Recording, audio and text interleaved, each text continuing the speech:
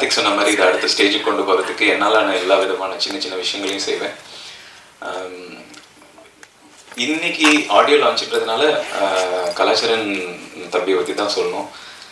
முதல் சந்திப்பிலேயே வந்து இப்படி ஒரு திறமை வச்சுட்டு ஏன் இன்னும் வெளியில் வரல இந்த தம்பி அப்படின்னு தான் யோசனை எனக்கு கொடுத்துச்சு. ரீ ரெக்கார்டிங் சாங்ஸ் எல்லாம் நீங்கள் கேட்டீங்க. இந்த கதையை பற்றி சொல்லக்கூடாது நான். பட் கதையோட களம் வந்து கண்டிப்பாக ரீ ரெக்கார்டிங்கில் தான் மெயின் வெயிட்டேஜ் இருக்கும். அப்படிப்பட்ட ஒரு சப்ஜெக்ட் ரொம்ப நல்லா எடுத்திருக்காங்க. அவங்க இசையமைச்சது. அது நீங்கள் படமாக பார்க்கும்போது உங்களுக்கு தெரியும். விக்ரம் வந்து தய நடிக்கிறது மட்டும் இல்லாமல் ஒரு முக்கிய ரோலில் தான் அவர் தான் கதாநாயகனாக எடுத்து நடிச்சிருக்காங்க. கார்த்திக் அதை தயாரித்ததோடு இல்லாமல் அவரும் ஒரு முக்கிய கதாபாத்திரத்தில் நடிச்சிருக்காங்க. இதில் இன்னொரு கதாபாத்திரம் இருக்குது ஒரு சிவான்னு சொல்லிட்டு நண்பர் அங்கே இருக்காங்க. ரொம்ப ரொம்ப திறமைசாலி இருக்காங்க படம் பார்க்கும்போது நான் அவரோட ஃபேன் ஆகிற அளவுக்கு நிறைய விஷயங்கள் அவங்க அதில் படத்தில் பண்ணியிருந்தாங்க. அவங்க ஒரு இது ஒரு குழுவாக அவங்க எல்லாரும் சேர்ந்து பண்ணியிருக்காங்க. அதில் இன்னும் நிறைய ரெண்டு மூணு ஆர்டிஸ்ட் இருக்காங்க. அவங்க எல்லாரும் எங்களால் மேடை ஏற்ற முடியல. எங்களோட எடிட்டர் மேலே எனக்கு ரொம்ப பெரிய ஒரு மரியாதை இருக்குது அவர் வந்துட்டு இருக்காரு இன்னும் வந்து சேரல. எனக்கு இங்கே இருக்கவங்க எல்லார் மேலேயும் அந்த மரியாதை எப்பயுமே தொடரும். ஏன்னா இது வந்து ஒரு லான்ச் பேடாக நான் பார்க்குறேன் அதே மாதிரி நண்பர் ஜினேஷ் பற்றி சொல்லணுன்னா எனக்கு லா காலேஜ் ஜூனியர் அவங்க. திருநெல்வேலி லா காலேஜில் பட் அவங்க என்ன பண்ணுறாங்கன்றதெல்லாம் விசாரிச்சப்போ ஃபர்ஸ்ட் மீட்டிங்லேயே எனக்கு ரொம்ப இம்ப்ரெசிவாக இருந்துச்சு. ஸோ அவங்க இதை நாங்கள் ரிலீஸ் பண்ணுறோன்னா அப்படின்னு சொல்லும்போது ரொம்ப ரொம்ப சந்தோஷம் எங்களுக்கு. ஏன்னா சி இங்கே மேடையில் இருக்கவங்க அத்தனை பேருமே உங்களை மாதிரி தான் ஒரு காலகட்டத்தில் நமக்கு இந்த வாய்ப்புகள் வராதா? அந்த வாய்ப்பு வந்தால் நம்ம எப்படி பயன்படுத்த போகிறோம் அந்த வாய்ப்பை பயன்படுத்தி எப்படி நாங்கள் பெரிய ஆளாக கொண்டு வர போகிறோம் நம்ம என்ன செய்ய போகிறோம் நம்ம கிடைக்கிற இந்த வாய்ப்பை நம்ம மட்டும் தான் பயன்படுத்த போகிறோமா இந்த வாய்ப்பை மீதி பேருக்கு கொண்டு போய் சேர்க்கறதுக்கு என்ன செய்ய போகிறோம் அப்படின்றது தான் எங்களோட குறிக்கோளாக இருந்துச்சு. இதில் உட்காந்துருக்கவங்களில் பல பேர் வந்து இதை நீங்கள் முன்கூட்டியே செஞ்சுருப்பீங்க செஞ்சவங்கள பார்த்துருப்பீங்க. ஆஹ் இங்க இருக்கவங்க வந்து அதை செய்யணுன்றதுக்காக உங்கள்கிட்ட கார்த்திக் சொன்ன மாதிரி வரம் வாங்கி வந்து நிக்கிறாங்க. உங்க வாழ்த்துக்கள் தான் இனிமேட்டு எங்களுக்கு அடுத்த கட்டத்தை நகர்த்த போது நன்றி வணக்கம்.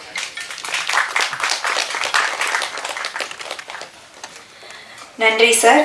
பொதுவாக நம்ம இந்த மாதிரியான நிகழ்ச்சிகள் எல்லாமே பார்த்தீங்கன்னா ரொம்ப சீனியராக யாராவது தயாரிப்பாளர் சிறப்பு விருந்தினர்கள்னு இருப்பாங்க டிரெக்டர்ஸ் ஏன்னா அந்த அந்த மேடையை வந்து அட்ராக்ட் பண்ணுறதுக்காக இல்லை அவங்க வந்து ஒரு ரெண்டு வார்த்தை நல்லதாக ஏதாவது ஒன்று சொன்னாங்கன்னா மீடியாவில் போய் சேரும் அப்படிங்கிறதுக்காக. இந்த மேடையில் அந்த குழுவினர் மட்டும்தான் இருக்காங்க சிறப்பு விருந்தினர்கள்னு யாருமே இல்லை. அதுக்கு காரணம் அவங்க அவங்களையே வந்து ப்ரமோட் பண்ணிக்கணும் உங்கள் முன்னாடி வந்து நிற்கணும் நீங்கள் அவங்கள வந்து இருக்கணும் அப்படின்னு சொல்லிட்டு தான் வந்து நிற்கிறாங்க எந்த ஒரு முகப்பூச்சும் இல்லாமல் அப்படியே ராவா நாங்கள் என்ன பண்ணியிருக்கோம் அப்படின்னு சொல்கிறதுக்காக மட்டுமே ஸோ உங்களோட எல்லாரோட சப்போர்ட்டும் இந்த படக்குழுவினருக்கு தேவை. அவங்களோட ஜென்யூனான விஷயங்களை நம்ம கடைசியில கேள்விகளும் இருக்குது ஸோ அப்போ உங்களோட ஜென்யூனான கேள்விகளையும் அவங்க கிட்ட கேட்கலாம். அடுத்ததாக action reaction film distributor Jenis அவர்களை பேச வருமாறு அவர்களை பேச வருமாறு அன்புடன் கேட்டுக்கொள்கிறேன்.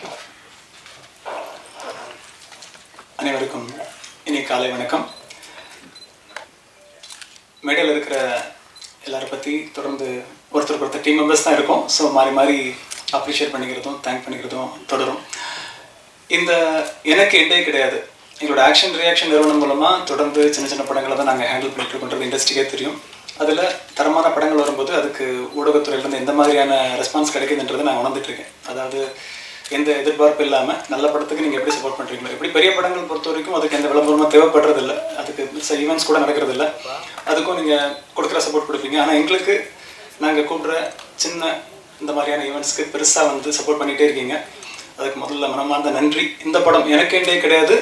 எங்களுக்கு ஒரு ஸ்பெஷல் ப்ராஜெக்ட் அதாவது இந்த படத்தை கிட்டத்தட்ட ஒரு பதினோரு மணி தான் ஷோ பார்க்க முடிஞ்சது ஃபஸ்ட்டு ரொம்ப டயர்டாக ரெண்டு மூணு ஈவெண்ட்ஸ்க்கு அப்புறமா ஒரு பதினொன்று பதினெட்டு ஷோ ஸ்டார்ட் பண்ணி அதை ஒன்றரை மணிக்கு முடிச்சுட்டு ஒரு நாலு மணி வரைக்கும் உட்காந்து இந்த டீமோட இன்ட்ராக்ட் பண்ணுற அளவுக்கு இந்த படம் இன்ஃப்ளூன்ஸ் பண்ணிச்சு. இதை நம்ம எக்ஸாஜரேட் பண்ணி சொல்கிறதா இல்லை. அது இந்த படத்தில் பொறுத்த வரைக்கும் மெசேஜ் இருக்குது அப்படின்லாம் சொல்லலாம் அவங்க தெளிவாக சொல்லிட்டாங்க. அவங்களுக்கு டூ ஹவர்ஸ் ரொம்ப கனெக்டடாக வைக்க ட்ரை பண்ணியிருக்கோம். பார்த்துட்டு சொல்லுங்கன்னு சொன்னாங்க. அது உண்மையாக என்டர்டைன் பண்ணிச்சு. ஆறாம் தேதி ரிலீஸ் ஆக போகுது அக்டோபர் ஆறு. அதுக்கு முன்னாடி உங்களுக்காக இன்னொரு ஸ்பெஷல் ஷோ அரேஞ்ச் பண்ணுவோம். கண்டிப்பாக பார்த்துட்டு ஓடகுத்துறை நண்பர்கள் உங்களோட தொடர்ந்து சப்போர்ட் பண்ணுங்கள் தென் இந்த படம் இப்போ ரீசெண்டாக இருக்கிற ரெண்டு மூணு நாளாக இருக்கிற அந்த கான்ட்ரவர்சியில் இந்த படத்தோட டீமும் ஒரு அவங்களுக்கு ஒரு இம்பாக்ட் அதுக்கு இருந்ததுன்னு தான் சொல்லணும். அது ரெண்டு மூணு நாளாக டிஸ்கஸ் பண்ணிட்டு இருக்காங்க.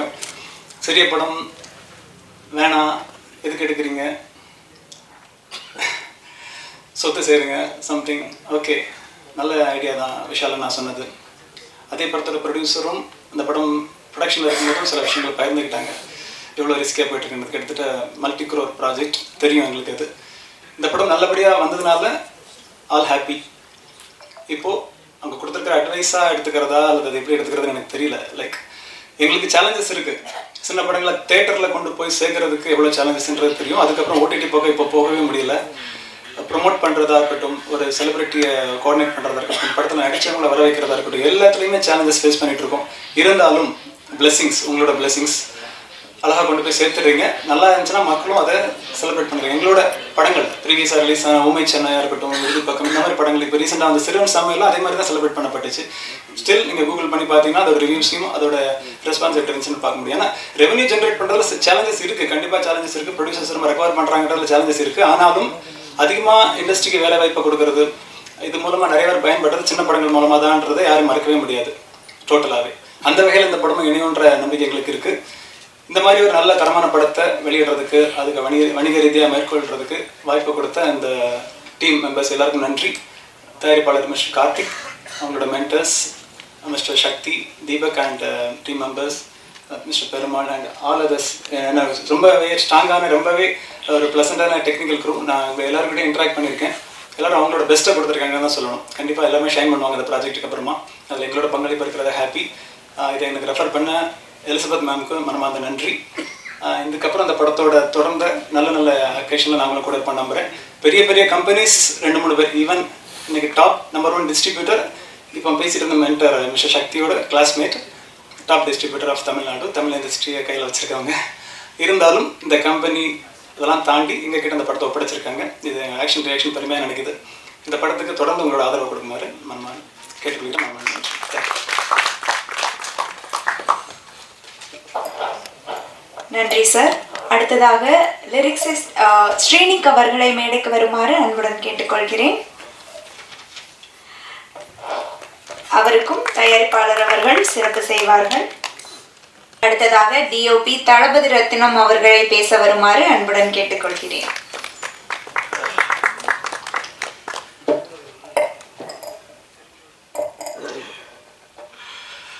நற்பவி அனைவருக்கும் வணக்கம்.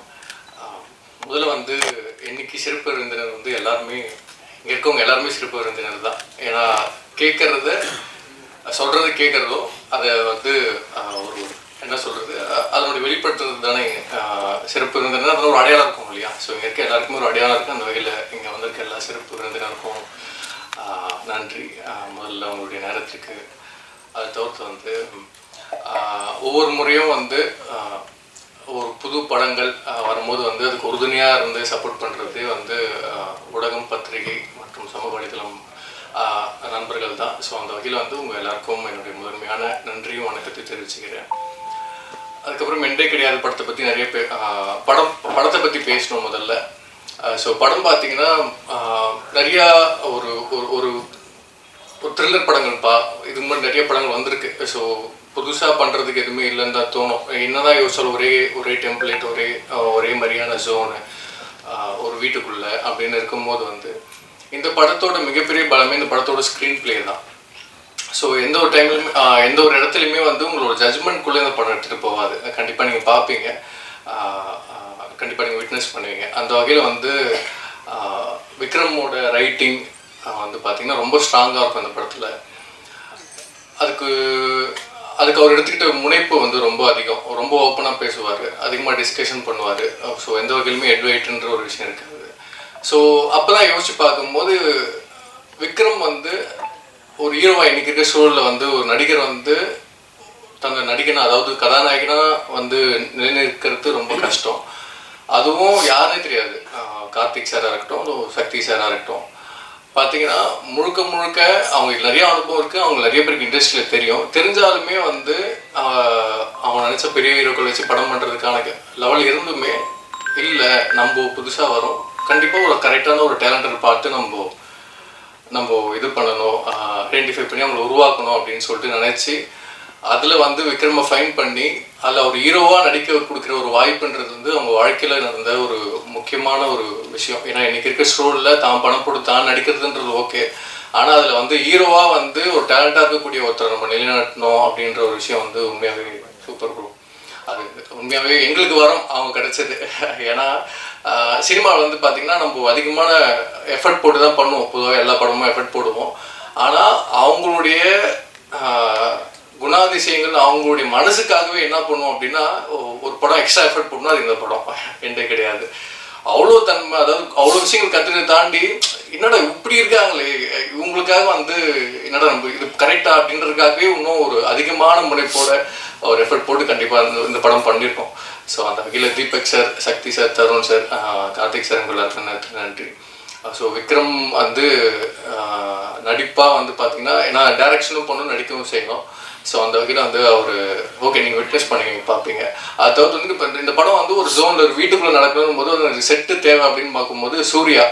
ஸோ ஆ டேரக்டர் பார்த்தீங்கன்னா நிறைய ரெஃபரன்ஸ் பார்த்துட்டு எந்த ஒரு படத்தோட முதல்ல நேட்டிவிட்டி இருக்கணும். அதேமாரி வேறு எந்த ஒரு ஹாலிவுட் படங்களோ இல்லை வேறு எந்த இன்னைக்கு தான் தெரியும் கொரியன் படம் இல்லை வேறு ஜப்பான் படம் வேற எந்த படத்தில் போனாலுமே இன்னைக்கு இருக்க சூழல ஒரு படம் டீசர்லேயே வந்துன்னா இந்த படம்னு சொல்லிடலாம். ஸோ செட்டு முதல் கொண்டுமே ரெஃபரன்ஸ் வரக்கூடாதுன்னு சொல்லிட்டு ரொம்ப மெனக்கெட்டு எங்களுக்காக சூப்பரான செட்டு போட்டு கொடுத்தாரு. ஸோ நன்றி சூர்யா. அப்புறம் இந்த படம் எல்லாம் இந்த படத்தோட முக்கியமான ரெண்டு பேர் ஒன்று வேல்முருகன் எடிட்டர் அவர் வரல. அதுக்கப்புறம் கலாச்சாரம் சார். ஸோ படம் நாங்கள் முடிச்சுட்டு அதனுடைய முழு எவால்வேஷன் எங்கே பார்த்தோம் அப்படின்னு பார்த்தோன்னா அது இசையில் தான். நன்றி சார். ரொம்ப எக்ஸ்ட்ரா நிறைய பண்ணியிருக்காரு கண்டிப்பாக நீங்கள் அடுத்ததுக்கிட்ட வரணும் சார். வாழ்த்துக்கள். அப்புறம் எங்களுக்கு எல்லாருக்குமே வந்து மாஸ்டர் ரொம்ப அன்பானவர். மாஸ்டருக்கு ரொம்ப நன்றியே சொல்லி ஆகணும். ஏன்னா நாங்கள் அவ்வளோ அவ்வளோ படங்கள் பெரிய படங்கள் பண்ணாலுமே நாங்கள் சொல்கிற ஒவ்வொரு விஷயமே அவர் கொஞ்சம் காது கொடுத்து கேட்டு அதை வந்து பொறுமையாக நிதானமாக எக்ஸிக்யூட் பண்ணி கொடுத்தாரு. ஸோ அந்த மாஸ்டருக்கு ரொம்ப நன்றி. அப்புறம் சிவா அண்ணா வந்து நடிப்பில் கலக்கிட்டார் சூப்பர் அப்புறம் லிரிக்ஸ் சூப்பராக எழுதியிருந்தாங்க. அப்புறம் ஜெனி சார் ஜெனி சார் வந்து பார்த்தீங்கன்னா அதே அவர் அவரோட குணம் தான் என்னன்னா இன்னைக்கு இருக்க சூழலில் வந்து இன்னைக்கு ப்ராடக்ட் எடுத்துட்டு லான்ச் பண்ணுறது தான் பெரிய கஷ்டமாக இருக்குது ஸோ அந்த வகையில் வந்து ஜெனி சாரோட சப்போர்ட் வந்து ரொம்ப ரொம்ப எக்ஸ்ட்ரானரியாக இருக்குது ஸோ அந்த வகையில் உங்களுடைய கம்பெனியும் மேலும் வளரணும் சார் ஓகே உங்களுக்கு சொல்லிட்டேன். ஓகே கடைசியாக வந்து யாருன்னா விட்டேன்னா? அஹ் பெருமாள் அண்ணன் ஓகே பெருமாள் அண்ணன் வரல. அஹ் பெருமாள் அண்ணனுக்கு ரொம்ப நன்றிண்ணே. நீங்கள் கண்டிப்பாக அதை பார்ப்பீங்கன்னு நினைக்கிறேன். ரொம்ப நன்றி. அப்புறம் என்னுடைய சினிமோடோகிராஃபி டீம் அப்புறம் என்னுடைய கலரிஸ்ட் எனக்காக ஒர்க் பண்ண லைட் பேன்ஸ் மீதி எல்லா கிராஃப்ட் டெக்னீஷியனுக்கும் ரொம்ப நன்றி. ஸோ எல்லாருக்குமே இந்த இண்டே கிடையாது டைட்டில் வந்து முதல்ல நிறையா நானும் விக்ரம் பேஸ்ட்டும் சாரி நான் கடைசி முடிச்சிடுறேன். பார்த்தீங்கன்னா எல்லாருக்குமே என்னன்னா சினிமாவில் வந்து ஒரு எண்டு கார்டு இருக்கக்கூடாது. தன் லைல் ஒரு ஒரு பேஷனேட்டாக வர எல்லாருக்குமே அவங்க ஃபீல்டில் ஒரு எக்ஸ்ட்ரீமாக போகணும். எப்பயுமே அது வந்து ரிட்டைர்மெண்ட் இருக்கக்கூடாதுன்னு நினைப்பாங்க. ஸோ சினிமா பற்றியுமே என்ட்ரி எக்ஸிட்டும் ரொம்ப சீக்கிரமாக நடக்கும். ஆனால் பட் அந்த ஒரு விஷயம் வந்து இந்த எண்டே கிடா டீமுக்கு வந்து நிச்சயமாக இருக்காது. ஏன்னா எல்லாருமே வந்து அவ்வளோ முனைப்போட ஒரு பேஷனோட தான் சினிமா அணுகியிருக்கோம் ஸோ எங்களுக்கு மட்டும் இல்லை ஸோ உங்களோட விருப்பங்கள் என்னென்னவோ அது எல்லாமே என்டே கிடையாமல் எல்லாம் நல்லபடிமா தீ நல்லபடியாக நடக்கணும்னு சொல்லிட்டு நான் விருப்பப்படுறேன். நன்றி முன்னேறதுக்கு நன்றி.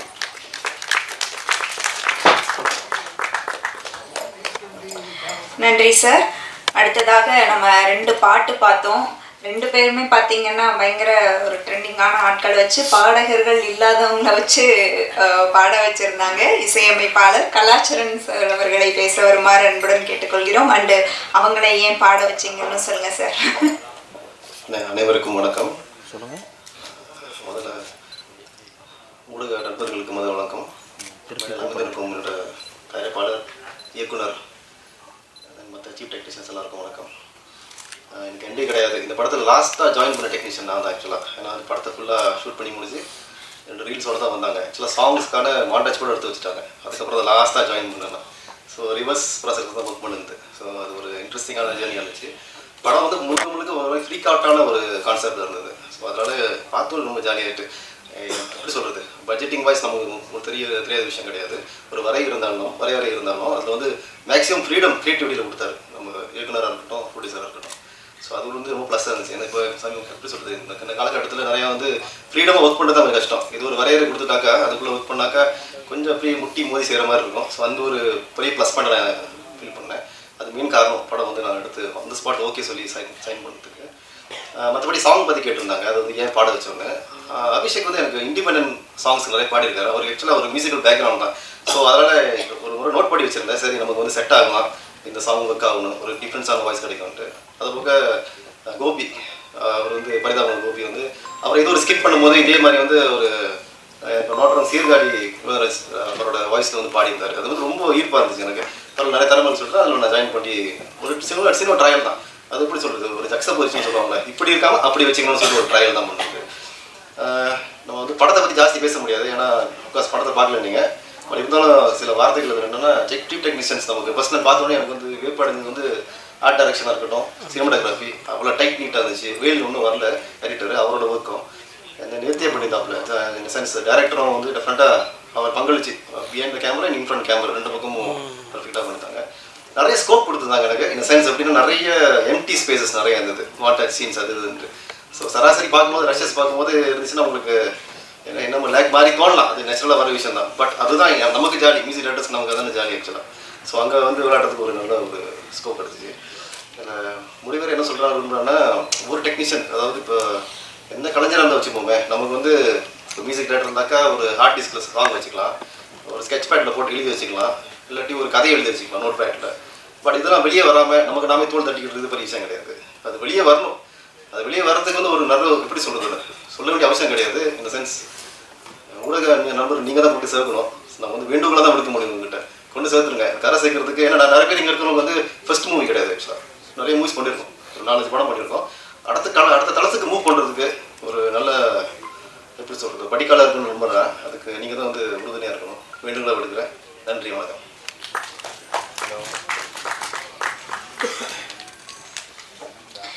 இந்த டீமோட மற்றும் ஒரு மென்டார் தீபக் சார் அவங்க வந்திருக்காங்க. அவங்களையும் வருக வருக என வரவேற்கிறோம்.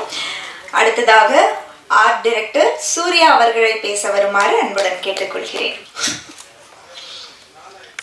இங்கே வந்திருக்க எல்லாருக்கும் வணக்கம். ப்ரெஸ் பீப்புளுக்கு வணக்கம். ஹங்கரி உல்ஃப் என்டர்டைன்மெண்ட் வந்து எங்களுக்கு கிடைச்ச மிகப்பெரிய ஒரு பொக்கிஷம். எனக்கும் சரி டிஓபிக்கும் சரி. ஃபஸ்ட்டு நாங்கள் வந்து மீட் பண்ண உடனே முதல்ல எங்களுக்கு அவங்ககிட்ட இருந்து நாங்கள் முதல்ல கற்றுக்கிட்டது வந்து மரியாதை. எப்படி ஒருத்தங்க கிட்ட மரியாதையாக நடந்துக்கணும் அப்படின்றத முதல்ல எங்களுக்கு சொல்லி கொடுத்தாங்க. ரெண்டாவது என்னென்னா நம்பிக்கை. அவங்க கிட்ட எங்களால் ஒரு பொய்யான ஒரு விஷயத்தையுமே காட்ட முடியல. அப்படியே ரொம்ப தட்டி கொடுத்து வேலை வாங்கிட்டே இருந்தாங்க. ரொம்ப சந்தோஷமாக இருந்தது. அதுவும் முக்கியமாக சொன்னோன்னா கார்த்திக் செட்டு எப்படி இருக்கும்னா ரொம்ப சைலண்ட்டாலாம் இருக்காது. ரொம்ப ஜாலியாக தான் இருக்கும். ஏன்னா ஒன்றும் அசிங்கமாக பேசிக்க மாட்டோம் டென்ஷன் ஆக மாட்டோம் கோவப்பட மாட்டோம். ஏன்னா எல்லாத்துக்கும் காரணம் ஃபுல்லாக அங்கே ஒரு என்டர்டைன்மெண்ட் மட்டும்தான் முழுக்க முழுக்க. அதையும் தாண்டி இன்னொரு விஷயம் என்னென்னா இங்கே ஒரு ஏன்னா பேசுகிறவங்க எல்லாருமே வந்து படம் நல்லா வந்திருக்கு செட்டு நல்லா வந்திருக்கு மியூசிக் நல்லா வந்திருக்குன்னு எல்லாம் சொன்னாங்க. பட் ஸ்பாட்டில் என்ன நடந்ததுன்றதை பற்றி யாரும் பெருசாக சொல்லலை. அதை நான் இங்கே ஷேர் பண்ணணும்னு நினைக்கிறேன். ஃபஸ்ட்டு நாள் வந்து பார்த்திங்கன்னா ஃபுட்டு கொடுத்தாங்க எங்கள் எல்லாருக்குமே. ஒரே லெவலில் தான் கொடுத்தாங்க. ஒரே லெவல்னா ஹை குவாலிட்டி தான். அதில் எந்த விதமான இதுவும் கிடையாது. அப்போ என்னன்னா ஃபஸ்ட் டைம் சாப்பிடும்போது ஓகே நல்லா இருந்தது. சக்தி அண்ணா வந்து என்ன பண்ணாங்க எப்படி இருந்தது சாப்பாடு? அப்படின்னு கேட்டாங்க. நல்லா இருந்தது. ஏன் ரொம்ப நல்லா இருந்ததுன்னு சொல்கிறீங்க நல்லா இல்லையா? அப்படின்னு சொல்லிட்டு அந்த இடத்துலையும் மிரட்டி. நெக்ஸ்ட் டேவே அதோட நல்ல ஒரு சாப்பாடு போட்டாங்க. என்னதான் சம்பளம் கொடுத்தாலும் என்னதான் மோட்டிவேட் பண்ணாலும் முதல்ல தேவை உணவு. அந்த ஒரு விஷயத்தில் அவங்க எங்களுக்கு குறை வைக்கல. அந்த மாதிரி ஒரு ஒரு விஷயமா இருக்கட்டும் எந்த ஒரு விஷயத்துலையுமே டென்ஷன் ஒன்று கிடையவே கிடையாது. கோவப்பட்டதே கிடையாது. முதல்ல இவங்க கோவப்பட்டாதான் அடுத்தது நாங்கள் கோவப்பட முடியும். இவங்களே எங்களை கோவப்படாத போது நாங்கள் எப்படி மற்றவங்ககிட்ட கோவப்படாமல் இருக்கும் கோவப்பட முடியும் அப்படின்ற மாதிரி தான் ரொம்ப நாங்களும் ரொம்ப ஜாலியாக ஒர்க் பண்ணோம் ரொம்ப ஃப்ரீடமாக ஒர்க் பண்ணோம்.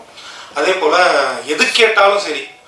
பிரதர் இது வேணும் கார்த்தி பிரதர்னா ஓகே அவ்வளோதான் வேறு எதுவுமே கிடையாது. ஓகே அந்த ஒரு வார்த்தை தான் அதே போல் என்னன்னா எண்ணம் போல் வாழ்க்கைன்னு சொல்லுவாங்க அந்த வார்த்தை. அவங்க எண்ணங்கள் நல்லா இருந்ததால தான் அவங்க எதிர்பார்த்த மாதிரி எல்லாமே அவங்களுக்கு ரொம்ப பாசிட்டிவாக அமைஞ்சுது அடுத்தது என்னென்னா விக்ரம். இதுக்கு முன்னாடி ஒரு பண்ண பட படத்தில் வந்து நானும் விக்ரம் சந்தித்தோம் விக்ரம் வந்து அதுக்கப்புறம் ஒரு ரெண்டு வருஷம் நாங்கள் ரெண்டு பேரும் ஃபுல்லாக ஃபோன் காலில் தான் பேசிகிட்டு இருந்தோம். அப்பப்போ விக்ரம் கால் பண்ணி சூர்யா அந்த மாதிரி வந்து ஒரு பேக்ட்ராப் ஒன்று ரெடி பண்ணோம் பண்ணி கொடுங்க. ஆ பண்ணலாம். எப்படி பண்ணலாம்? இப்படி பண்ணலாம் அப்படி பண்ணலாம். திடீர்னு ஒரு வாட்டி கால் பண்ணி எங்கே இருக்கீங்க? கொஞ்சம் இங்கே வாங்க. சரி போனோம். மீட் பண்ணோம் பேசணும் ஓகே ஸ்டார்ட் ஓகே ரெடி என்ன அது? கூப்பிட்டு பேசினா அதுக்குள்ளே எல்லாத்தையும் ஓகே பண்ணிட்டேன். அவ்வளோதான் முடிஞ்சிச்சு ஸ்டார்ட் பண்ணலாம் அவ்வளோதான் இவங்க ஆஃபீஸ்க்கு போகும்போது ஒரு போர்டு ஒன்று வச்சுருந்தாங்க. அந்த போர்டில் வந்து பார்த்தீங்கன்னா மேலே வந்து அங்கிரி உல்ஃப் என்டர்டெயின்மெண்ட் போட்டுட்டு டேரக்டர் விக்ரம் ரமேஷ் அப்படின்னு போட்டாங்க. Cinematographer art director music director editor VFX makeup hair dresser எல்லா இடத்துலையும் கொஸ்டின் மார்க்காக தான் இருந்தது. ரெண்டாவது அந்த இடத்த வந்து ஃபில் பண்ணது நான் தான் அதுக்கப்புறம் நண்பர் தளபதி யாத்தனம் அவ்வளோதான் அது ஃபுல்லாகி முடித்த உடனே ஷூட்டிங் போயிட்டோம். எந்த இடத்துலையுமே எங்களுக்கு வந்து கேப்பே இல்லை. அதே போல் அந்த வெயிட் பண்ணுங்கள் கூப்பிடுறோம் அப்படின்ற வார்த்தைலாம் இல்லை. ரொம்ப ரொம்ப ரொம்ப சப்போர்ட் அதுக்கு நான் முதல்ல அண்ணன் எனக்கு ஒரு கார்த்திக் ப்ரோ வந்து அண்ணன். அதுக்கப்புறம் என்னென்னா ஸ்டார்ட் பண்ணியாச்சு ஷூட்டிங் போயாச்சு போயிட்டுருக்கு. ஒரு ஸ்ட்ரகிள் ஒன்று ஒரு ஃபைட் ஸ்ட்ரகிள் ஒன்று இருக்குது இந்த படத்தில். அது வந்து பண்ணிடலாம். யார் வேணாலும் பண்ணிடலாம். பட் நான் போய் அந்த இடத்துல சொல்கிறேன் ப்ரோ இந்த மாதிரி நான் சொல்லணும்னு நினைக்கிறேன். இந்த இடத்துல ஒரு ஸ்டண்ட் மாஸ்டர் இருந்தால் பெட்டராக இருக்கும் அப்படின்னு சொன்னேன். ஆ ஓகே யார் இருக்காங்க ஃப்ரெண்ட் இருக்காரு. சொல்லிட்டு எங்கள் மூத்த அண்ணன். அவரை கொண்டு வந்து இன்ட்ரடியூஸ் பண்ணோம் நாங்கள் அவர் உடனே எங்கள் மூத்த அண்ணன் மாதிரிலாம் இல்லை எங்கள் கூட ஜாயின் பண்ணோடனே எங்கள் ஏஜ் மாதிரி ஆகிட்டார் அவரும். ஒரு மூணு நாள் அவரும் எங்கள் கூட ஜாலியாக ஃபுல்லாக ட்ராவல் பண்ணி விட்டுட்டு போக மாட்டேன்றார் செட்டை எங்கள் கூடயே தான் இருந்தார். என்னென்னா நாங்கள் அந்த செட்டு போட்டதுக்கு அதுக்கப்புறம் அங்கே எல்லாமே ரூம் அவைலபிள் கொடுத்துட்டோம். அதனால் டெக்னீஷியன்ஸ் மேஜராக பார்த்தா நான் டிஓபி தளபதி கார்த்தி பிரதர் விக்ரம் நாலு பேர் மட்டும்தான் அந்த செட்டை விட்டு வீட்டுக்கு போவோம் நைட்டு ஷூட் முடிஞ்சோடனே மற்றவங்க எல்லாருமே ஹாப்பி தான். அங்கேயே செட்டில்டு ஏன்னா அத்தி ஒரு இடம் அது அந்த ஏசிலாம் போட்டுட்டு அங்கேயே செட்டில் ஆகிடுவாங்க முழுக்க முழு இன்னொரு ஒரு விஷயம் என்னென்னா நிறைய கம்பெனி பார்த்துருப்பீங்க. இங்கே ஷூட்டிங் பீப்புள்ஸ் இருப்பீங்கன்னு நினைக்கிறேன். ஷூட்டிங் பேக்கப்னு உடனே இந்த லைட் மேன்ஸு ப்ரொடக்ஷனில் இருக்கவங்களாம் என்ன பண்ணுவாங்க? பில் ஒன்று எழுதிட்டு போயிட்டு க்யூவில் நிற்பாங்க மேனேஜர் கிட்ட. மேனேஜர் என்ன பண்ணுவார்? அந்த நேரத்தில் அப்போ முன்னாடிலாம் நிற்பாங்க மேனேஜர் கரெக்டாக ஒரு அஞ்சு மணிலேருந்து ஆறு மணி வரைக்கும் காணாமல் போயிடுவாங்க. ஏன்னா அவங்களுக்கு ப்ரெஷர் ப்ரொடியூசர் சைட்லேருந்து அவங்களுக்கு ஏதாவது ஒன்று வந்தால் தான் அவங்களால எல்லாமே பண்ண முடியும். அவங்க கொடுக்கக்கூடாதுன்ற எண்ணம்லாம் கிடையாது. பட் ப்ரெஷரு ஏன்னா நான் சொல்கிறது வந்து சின்ன படத்தை பற்றி சரிங்களா அதனால் அப்படி ஒரு ப்ரெஷர் இருக்கும். ஆனால் இந்த கம்பெனியில் வந்து அப்படியே ஆப்போசிட் அப்படியே கை அப்படி வந்து நாங்கள் இருக்கோம். அப்படி வாசனை கேரில் ஒரு அட்வர்டைஸ்மெண்ட்டில் சொல்கிற மாதிரி எங்கள் வீட்டில் வந்துட்டு நாங்கள் இருக்கோம். இந்த மைக் காசு இப்படி கொடுப்பாங்க. எல்லாருக்கும் அப்படியே டெக்னீஷியன்ஸ்க்குலாம் அப்படியே ஆனந்த கண்ணீர் வரும். லைட்மேன் கண்ணெல்லாம் பார்க்கணும். அப்படியே அவங்களாம் வந்து யாரா இவங்க அப்படின்ற மாதிரிலாம் ஒரு இதுவாக இருக்கும். அந்த மாதிரியான ஒரு டீம் இது. சரியா? இந்த மேட்ரு பற்றிலாம் அவங்க சொல்லலை. அதனால் இதெல்லாம் நான் சொல்லிட்டேன். ஏன்னா எல்லாத்தையுமே பேசிட்டாங்க. எனக்கு என்ன பேசணும்னு முதல்ல தெரியல. புரியுது எனக்கு. அதுக்கப்புறம் நண்பர் டிஓபி தளபதி எனக்கு ரொம்ப சப்போர்ட் அவர் சொல்லிட்டாரு நான் வந்து செட் அமைச்சு கொடுத்துட்டேன் நான் அமைச்சு தரல. அவர் எனக்கு அவ்வளோ ஹெல்ப் பண்ணார். நண்பா அவங்களால முடியும். சத்தியமாக அவங்களால முடியும் அப்படின்னு சொல்லி. ரொம்ப பாசிட்டிவான ஒரு டீம் இந்த டீம் ஒரு நாள் கூட டென்ஷன் ஆனது கிடையாது கோவப்பட்டது கிடையாது. அதே மாதிரி விக்ரம் எனக்கு கிடைச்ச குறுகிய காலகட்டத்தில் ரொம்ப நெருங்கிய நண்பர் வந்து விக்ரம். நாங்கள் இன்னி வரைக்கும் இப்போ ரிலீஸ் ஆன ஜெயிலர் மூவி முத கொண்டு நான் கார்த்திக் பிரதர் விக்ரம் தளபதி எல்லா படத்துக்குமே ஒன்றா தான் போயிட்டு இருக்கோம். இன்னி வரைக்கும் எங்களுடைய அந்த படம் தான் முடிஞ்சதே தவிர மற்றபடி எங்களோட பாண்டிங் இன்னி வரைக்கும் முடியல. ஃப்யூச்சரில் கண்டிப்பாக நம்ம ட்ராவல் பண்ணணும்னு நினைக்கிறேன். கலா சார் வந்து லாஸ்ட்டாக தான் சாரி சத்தியமாக நம்ம அந்த அளவுக்கு பழக்கம் இல்லை. இப்போ பார்த்தா கூட அவருக்கு என்கிட்ட என்ன பேசுறதுன்னு தெரியாது. நான் அவர்கிட்ட என்ன என்ன எப்படி எப்படி இருக்கீங்க நல்லா இருக்கீங்களா? நானும் நல்லா இருக்கேன். ரெண்டு நிமிஷம் சைலண்டாக நிற்போம் அதுக்கப்புறம் என்ன பேசுறதுன்னு அவருக்கும் தெரியாது எனக்கும் தெரியாது. ஏன்னா அதுக்கு மேலே இல்லை. மாஸ்டர் வந்து ரொம்ப பிஸியாக இருக்காரு. மாஸ்டர் பிடிக்கவே முடியல ஃபோன் பண்ணால் எடுக்கவே மாட்டேன்ற மாதிரி மாஸ்டர் கோபமாக இருக்க மேலே விட்டுருங்க. அதுக்கப்புறம் வந்து பார்த்தீங்கன்னா கார்த்தி பிரதர் விக்ரமை தாண்டி அங்கே ஒரு கேரக்டர் உட்காந்துருக்கு மஸ்தான் பாய் வேற லெவலில் பெர்ஃபார்ம் பண்ணியிருக்காரு இந்த படத்தில் நல்லா பேசப்படக்கூடிய ஒரு கேரக்டர் அது வந்து இங்கே வந்து ஆர்ட் டைரக்டர் சினிமோட்டோகிராஃபர் மியூசிக் டைரக்டர்லாம் ஒர்க் பண்ணலங்க. இது வந்து எல்லாருமே அவங்க வேலையை அவங்க தலைமையில் எடுத்து போட்டுக்கிற மாதிரி இது எங்கள் வீடு. நாங்கள் என்ன வேணால் பண்ணிப்போம் அப்படின்ற மாதிரி. வானத்தை க அந்த கதவு ஒன்று இருக்கும். அந்த வீட்டுடைய கதவு அந்த வீட்டுக்குள்ளே போனால் அந்த கதவை லாக் பண்ணுறோம் ஆறு மணிக்கு தான் அந்த கதவை திறப்போம். அந்த கதவுல வந்து காலை வச்சு கேட்டிங்கன்னா வானத்தை போலோடைய பிஜிஎம் சவுண்டு கேட்கும். அப்படி தான் நடத்துவாங்க ப்ரொடக்ஷன்லேருந்து நம்மளை. அப்படி இருக்கும். எங்களால் முடியாது. யாரா இவங்க யாரா எப்படா அப்படின்ற மாதிரி யாரா இது? இப்படி போடுறாங்களே நம்மள. கோவப்படவே மாட்டேன்றாங்களேன்னு வீம்புக்குன்னா எதனா லேட்டாக வந்தால் கூட வரோம், வாங்க, உள்ள நாங்கள் லட்டு சாப்பிட்றீங்களா அப்படின்னு கொடுப்பாங்க. அதனால் கொடுக்குற டிஃபன்லேருந்து போடுற சாப்பாடுலேருந்து கொடுத்த காசு வரைக்கும் எல்லாமே ரொம்ப அன்பாக சந்தோஷமாக மன நிறைவுடன் கொடுத்தாங்க தீபக் சாருக்கு வந்து ரொம்ப நன்றி. அதே போல் ஒரு படம் எங்களுக்கு ஒரு டைம் டியூரேஷன் கொடுத்தாங்க. முப்பத்தஞ்சு நாள் இந்த படம் முப்பத்தஞ்சு நாள் தானே? முப்பத்தஞ்சு நாளில் அந்த படத்தை முடிக்கணும்ன்ட்டு.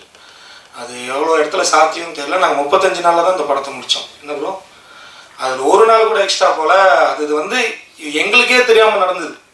கடைசியில் அந்த முப்பத்தஞ்சாவது நாள் பூசணிக்காய் உடைச்ச உடனே ரெண்டாக பிரிஞ்சு போன உடனே எல்லாருமே அழ ஆரம்பிச்சிட்டோம். அப்படியே ரொம்ப ஒரு மாதிரி இருந்துச்சு அந்த இடத்துல அப்படியே ஃபீலிங்காக இருந்துச்சு அந்த இடத்துல. அதுக்கப்புறம் அடிக்கடி மீட் பண்ணிப்போம். அது இந்த மாதிரி எதனா ஒரு அக்கேஷனாக உடனே கலந்துப்போம்.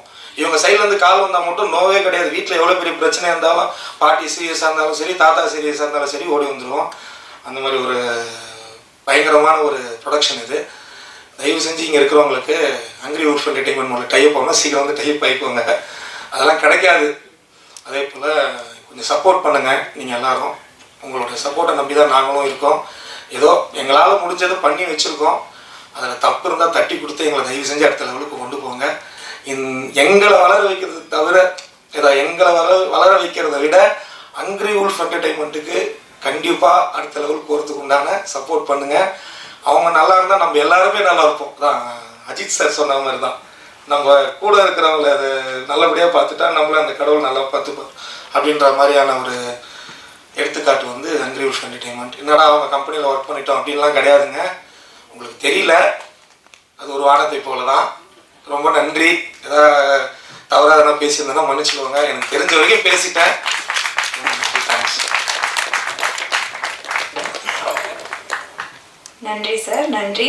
அடுத்ததாக ஹங்க்ரி வெல்ஃப் என்டர்டைன்மெண்ட்டினுடைய கார்த்திக் சாரனுடைய ஒரு பேக் போனாக இருந்தவர். அவரும் ஒரு மென்டார் தீபக் அவர்களை பேச வருமாறு அன்புடன் கேட்டுக்கொள்கிறேன். ஹாப்பி மார்னிங் எல்லாருக்கும். ஹங்க்ரி வெல்ஃப் நேமே ஒரு இன்ஸ்பிரேஷனல் வேவாக ரொம்ப தாட் ப்ராசஸ் இறங்கி ரொம்ப டீப் அண்டர்ஸ்டாண்டிங்கில் எடுத்திருக்கோம். இங்கே இருக்கவங்களுக்கு எல்லாருக்குமே வளரணும் இன்ஸ்பிரேஷன் ஆஸ்பிரேஷன் அச்சீவ் பண்ணுறதுக்காக வெறியோட இருக்கிற டீம் ஒன்று இங்கே இருக்கவங்க எல்லாமே மல்டி டேலண்டட் இவங்கள ஒருத்தர் ஒருத்தராக செலக்ட் பண்ணிட்டு எடுத்துகிட்டு வர்றது ரொம்ப பெரிய விஷயம். It took four years five years to build ஒரு ப்ராப்பர் டீம் பட் ஹாப்பி என்னென்னா நாங்கள் நைன்டி பர்சன்ட் டைம் வந்து பிளானிங்கில் பண்ணோம். டென் பர்சன்ட் தான் எக்ஸிக்யூஷன் அதனால தான் வெற்றிகரமாக uh, இந்த சக்ஸஸ்ஃபுல் டீமை வந்து தேர்ட்டி ஃபைவ் டேஸ்க்குள்ளே கம்ப்ளீட் பண்ண முடிஞ்சது இந்த ப்ராஜெக்டை பட் uh, இது ஒரு கம்ப்ளீட் ஃபேமிலி ஒரு ஃபேமிலியில் எப்படி யாருக்கும் இந்த யாரும் போஸ்டிங்கில் நான் வெறும் கோட் போட்டிருக்கேன். அவங்க கூட இருக்கும்போது கோட்லாம் இல்லை. கூடியே தான் இருப்பேன். இந்த எந்த டிஃப்ரென்ஸும் இல்லை. எல்லாருமே ஒன்று தான் வளர டீமு எல்லாம் ஒன்றா தான் வளரணுன்றது ஒரே ஒரு இதில். இதில் எல்லாருமே ஸ்டேக் ஹோல்டர்ஸ் ஒருத்தர் ஒருத்தர் தட்டு எல்லாரையும் தூக்கிட்டு ஒன்றா வந்துட்டு போகிற டீம் இது. மூவி இண்டஸ்ட்ரியில் நாங்கள் நியூவாக இருக்கலாம். பட் எங்களோட எக்ஸ்பீரியன்ஸ் வந்து கடந்த ஒரு ஃபைவ் இயர்ஸாக பார்த்தீங்கன்னா பெரிய பெரிய ப்ரொடியூசர்ஸ் டீம் கூட உட்காந்து நிறைய விஷயங்களை டிஸ்கஸ் பண்ணோம். அவங்களோட ஆஸ்பிரேஷன் அவங்க என்ன எதிர்பார்க்குறாங்க? பார்த்தீங்கன்னா ஃபியூ எக்ஸாம்பிள் எடுத்தா கமல் ஃபிலிம்ஸில் பேசணும். அப்புறம் சந்திரபிரகாஷ் தாலேடா அந்த மாதிரி பெரிய பெரிய ப்ரொடியூஷன் டீம் கூட உட்காந்து டிஸ்கஸ் பண்ணிவிட்டு நிறைய அனாலிசிஸ் எடுத்தோம். இந்த ப்ராஜெக்டில் பொறுத்த வரைக்கும் நீங்கள் பார்த்தீங்கன்னா மேபி நியூ ஃபேஸாக இருக்காங்கன்றது தான் ஒரு மார்க்கெட்டில் ஃபஸ்ட்டு பேசுவாங்க. அந்த மூவி பொறுத்த வரைக்கும் டென் மினிட்ஸ் லெவன்த்து மினிட்லேருந்து ஸ்டோரி அந்த அளவுக்கு டேக் ஓவர் பண்ணுறது யார் புது கேரக்டர் வந்து நீங்கள் பார்க்கவே மாட்டீங்க. இட்ஸ் எண்ட் டு எண்ட் வரைக்கும் சூப்பராக எடுத்திருக்காங்க. கிட்டத்தட்ட நாலு அஞ்சு வாட்டி நான் பார்க்கும்போதே we felt very happy so இந்த ஹாப்பினஸ்க்கு வளர்ச்சிக்காக நீங்கள் எல்லாருமே சப்போர்ட் பண்ணுங்கள் வில் ஆல் க்ரோ டுகெதர் இதுதான் ஒரு சின்ன வாழ்க்கை. நம்ம எதுவும் எடுத்துகிட்டு வந்ததில்லை எதுவும் எடுத்துகிட்டு போக போகிறதில்ல வளரும் போது எல்லாம் கூட வளரும் போது இதுதான் ஹாப்பினஸ் எல்லாரும் வளரும் போது நாங்கள் தானாக வந்துடும் அதனால் என்னோட சப்போர்ட் இந்த டீம்லேயும் இல்லாமல் நிறைய நியூ ப்ராஜெக்ட்ஸ் அப்கமிங் ப்ராஜெக்ட்ஸில் சேர்ந்து ஒர்க் பண்ண மாதிரி நிறைய பிளான் பண்ணியிருக்கோம். உங்களோட சப்போர்ட் கண்டிப்பாக தேவை. தேங்க்யூ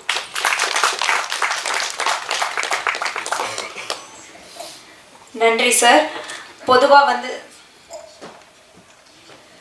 சண்டை காட்சிகள் அப்படிங்கிறது அப்படியே பறந்து பறந்து சண்டை போடுறாங்க. பயங்கரமாக அடிச்சுக்கிறாங்க அப்படிங்கிற மாதிரி இல்லாமல் இந்த மாதிரியான ஒரு ட்ராமாவில் கூட அதுக்குள்ள ரொம்ப நேர்த்தியாக அந்த காட்சிகளை படமாக்குறதும் சண்டை நம்மளுடைய ஸ்டண்ட் மாஸ்டர்ஸுடைய கடமை தான் அப்படிதான் கூப்பிட்டுருக்காங்க.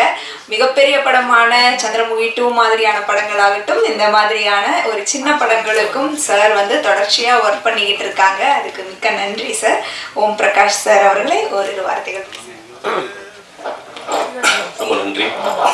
ஊடக நண்பர்கள் எல்லாருக்கும் காலை வணக்கம். நான் பேச தெரியல.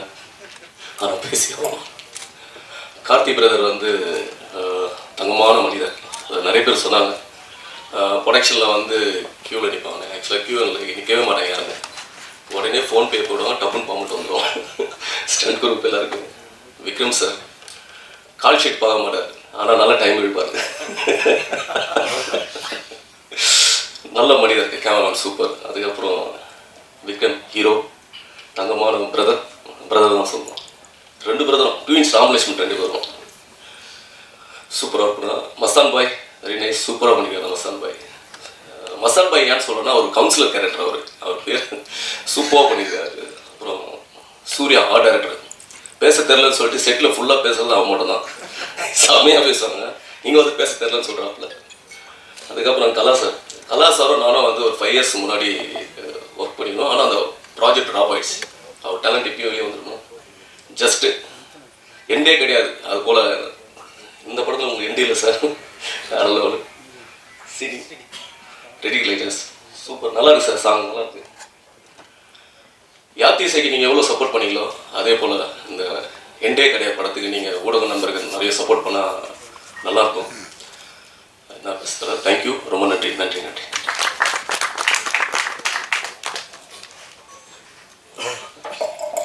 நன்றி சார் அடுத்ததாக இந்த பாடல்களை எழுதின பாடலாசிரியர் ஸ்ரீனிக் அவர்களை பேச வருமாறு அன்புடன் கேட்டுக்கொள்கிறேன்.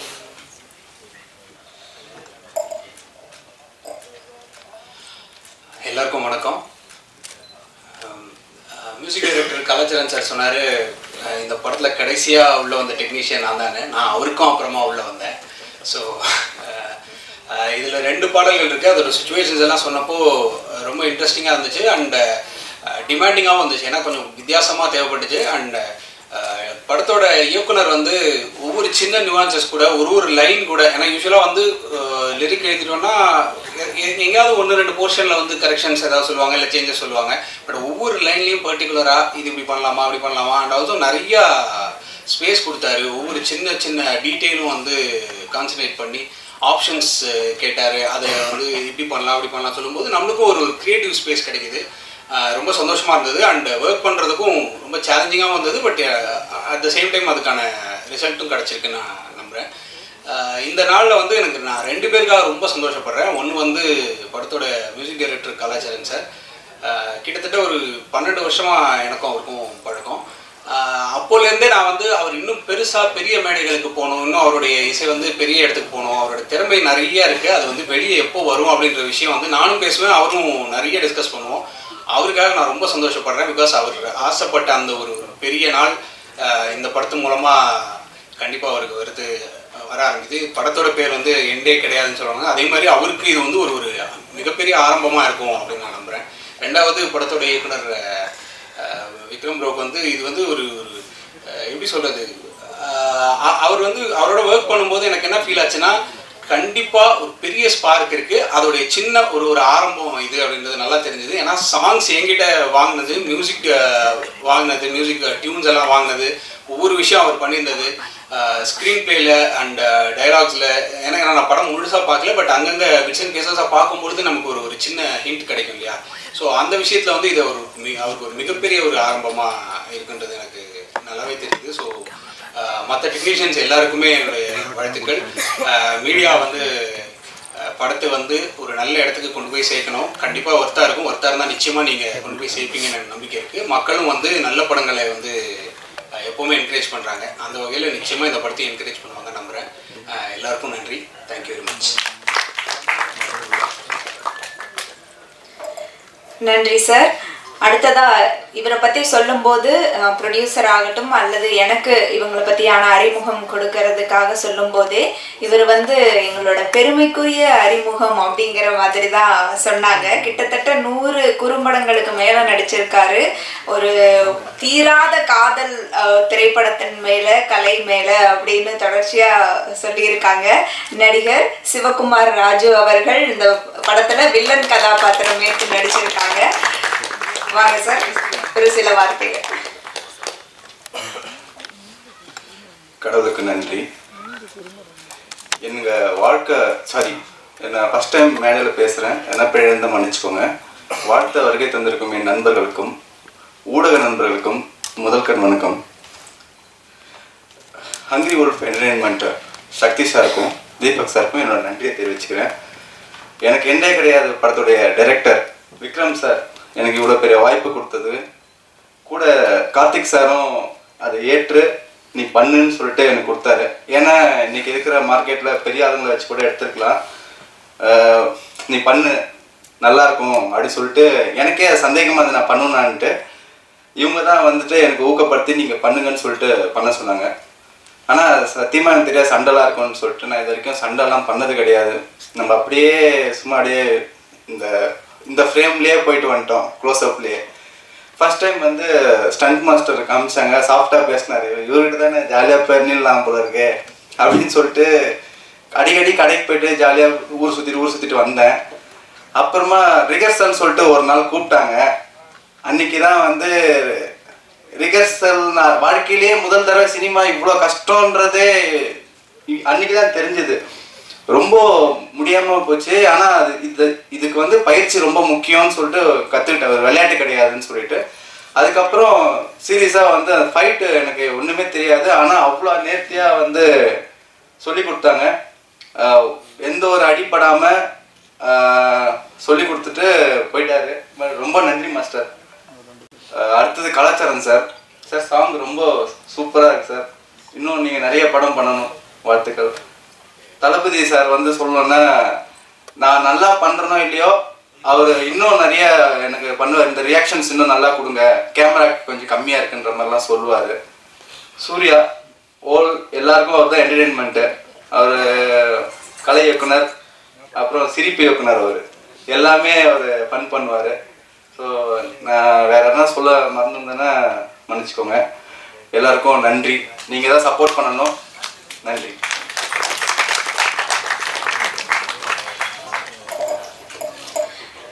நன்றி சார் அடுத்ததாக விஎஃப்எக்ஸ் வெற்றி அவர்களை பேச வருமாறு அன்புடன் கேட்டுக்கொள்கிறேன். ஹாய் ப்ரோ ப்ரொடக்ஷன் அங்கே ஒரு கார்த்திக் ப்ரோ ஃபஸ்ட்டு தேங்க் பண்ணோம் அடுத்து பார்த்தீங்கன்னா விக்ரம் ப்ரோ ஃபர்ஸ்ட் மீட்டிங் வந்து எங்களுக்கும் எனக்கும் விக்ரம் ப்ரோக்கு தான் நடந்தது. ஜஸ்ட் ஒரு ஜென்ரல் ஒரு மீட்டாக தான் இருந்தது சரி எப்படியும் நெக்ஸ்ட் ப்ராஜெக்ட் எல்லாம் பேசிகிட்டு இருக்கோம். யூஸ்வலாக ரெஃபரன்ஸ் பார்த்துட்டு ஃபர்தராக பேச ஆரம்பி ஃபர்ஸ்ட் எடிட்டரை வந்து என்கிட்ட இன்ஃபார்ம் பண்ணும்போது இது மாதிரி ஒரு படம் இருக்கு பிரதர் பாருங்க அப்படின்னாரு. ஸோ அதுக்கப்புறம் நானும் விக்ரம் ப்ரோ தான் ஃபர்ஸ்ட் மீட் பண்ணோம். அதுக்கப்புறம் செகண்ட் கார்த்திக் ப்ரோ மீட் பண்ணோம். கார்த்திக் ப்ரோ மீட் பண்ணிட்டு நெக்ஸ்ட் டேவே நாங்கள் சைன் பண்ணுறோம்னு நினைக்கிறேன். So with within one or two டேஸில் எல்லாமே அப்ஜெக்டாக டக்கு டக்கு டக்கு டக்குன்னு மூவ் ஆகிடுச்சு ஸோ அடுத்த மூவி ஒர்க் ஸ்டார்ட் பண்ணப்போ பார்த்தீங்கன்னா ரெஃபரன்ஸ் வச்சு ஃபர்ஸ்ட் வந்து விக்ரம் ப்ரோ வந்து இதுதான் நம்மளோட நீட் இருக்குது அப்படின்றத எக்ஸ்பிளைன் பண்ணும்போது சின்ன சின்ன ஒர்க்ஸாக இருக்க மாதிரி தான் இருந்தது. ஃபுல் பேக்காக பார்க்கும்போது அவ்வளோ ஒர்க் நிறையா இருக்குது அப்படின்றது வந்து ஃபுல்ஃபில்டாக இருந்தது. ஃபர்ஸ்ட் ப்ரொடக்ஷன் மெயினாக என்ன ரீசன் அப்படின்னு பார்த்தீங்கன்னா ஆன் டைம் விஎஃப்எக்ஸ் பொறுத்தவரைக்கும் உங்களுக்கே தெரியும். கடைசி நிமிஷம் வரையில் விஎஃப்எக்ஸ் போகும் லேட் ஆகும். அது நிறையா பின்னாடி பிரச்சனை இருக்குது ஸோ அது எல்லாமே வந்து இங்கே ப்ரொடக்ஷனை பொறுத்தவரையும் அந்த ஒரு பிரச்சனையே வராது. ஏன் ரீசன் அப்படின்னு பார்த்தீங்கன்னா என் டுடே என்ன நடக்குதுன்றது அப்டேட் ஆகும். அட் த சேம் டைம் பார்த்தீங்கன்னா சிஜிக்கு மேஜராக எல்லாரும் வைக்கக்கூடிய விஷயம் உங்கள் எல்லாருமே தெரிஞ்சிருக்கும்னு நினைக்கிறேன். End of the day payment pending தான். ஸோ ரிலீஸ்க்கு அப்புறம் ப பண்ணிடுறோம் அப்படின்னு சொல்லிட்டு அது ஒரு பிரச்சனை இருக்குது இன்ன வரையும் நடந்துட்டு தான் இருக்குது அது எல்லாருக்குமே நடக்கக்கூடிய ஒரு விஷயம். ஸோ எங்கள் ப்ரொடக்ஷன்ஸ் பொறுத்த வரையும் பார்த்தீங்கன்னா அந்த ஒரு பிரச்சனையே கிடையாது. எல்லாருமே சொன்ன மாதிரி தான். ஈவன் இவங்க எல்லாம் சொன்னாங்க ஷூட் ஷூட்டிங் ஸ்பாட்டில் நடந்ததெல்லாம் சொன்னாங்க. நான் ஷூட்டிங் ஸ்பாட்டில் இல்லை. ஸோ இப்போ இருந்திருக்கலாமோ அப்படிங்கிற ஒரு ஐடியா ஸோ அதை விக்ரம் ப்ரோ ஆஷிஷும் எல்லாருமே சொல்லுவாங்க. இப்போ அடுத்த ஒரு பேசும்போது சொல்லுவார். டிஓபிக்கு எனக்கு இது செகண்ட் மூவி அந்த எடிட்டருக்கும் எனக்குமே செகண்ட் மூவி எடிட்டர் ஆக்சுவல் பார்த்தீங்கன்னா எடிட்டர் நான் ரொம்ப வந்து ஆல்ரெடி ப்ரீவியஸ் ஃபிலிம்ஸில் ஒர்க் பண்ணதுனால எங்களுக்கு அந்த இது இருக்கும். ஜெல் ஆயிடுச்சு நல்லாவே. ஸோ இந்த படம் இதுக்கான கண்டென்ட் இப்படி தான் பண்ணணும் அப்படிங்கிறது வந்து ஒவ்வொரு மூவிக்குமே நாங்கள் ரெகுலராக பிளான் பண்ணணும். ஃபர்ஸ்ட் நாங்கள் டிஸ்கஸ் பண்ணிவிட்டு பிளான் பண்ணி ஒர்க் பண்ணுவோம் ஸோ அதே மாதிரி தான் மூணு கடலிஸ்டாக இருக்கட்டும் நானாக இருக்கட்டும் டிஓபி இவங்க எல்லாருமே வந்து ஒரு பேக்காக வந்து செகண்ட் ஃபிலிம் ஒர்க் பண்ணுறது வந்து ரொம்ப ஹாப்பியாக இருக்குது so thanks for everyone music director as usual நான் ஃபஸ்ட் டைம் மூவி ப்ரிவியூ பார்த்தப்பவே நான் சொன்னேன் மியூசிக் வந்து எங்கேயோ இருக்குது சார் அப்படின்ட்டு. ஸோ ரொம்ப தேங்க்ஸ் சார் ஸோ மாஸ்டர் கூட நான் ஒர்க் பண்ணல. ஸோ ஒன்றும் ப்ரா எனக்கு தெரியல. So lyricist as usual song பார்த்துருப்பீங்க. ஸோ எல்லாருக்குமே தேங்க்யூ ஓவராலாக ப்ரொடக்ஷன்ஸ் ரொம்ப ரொம்ப thanks thank you thank you uncle production okay thank you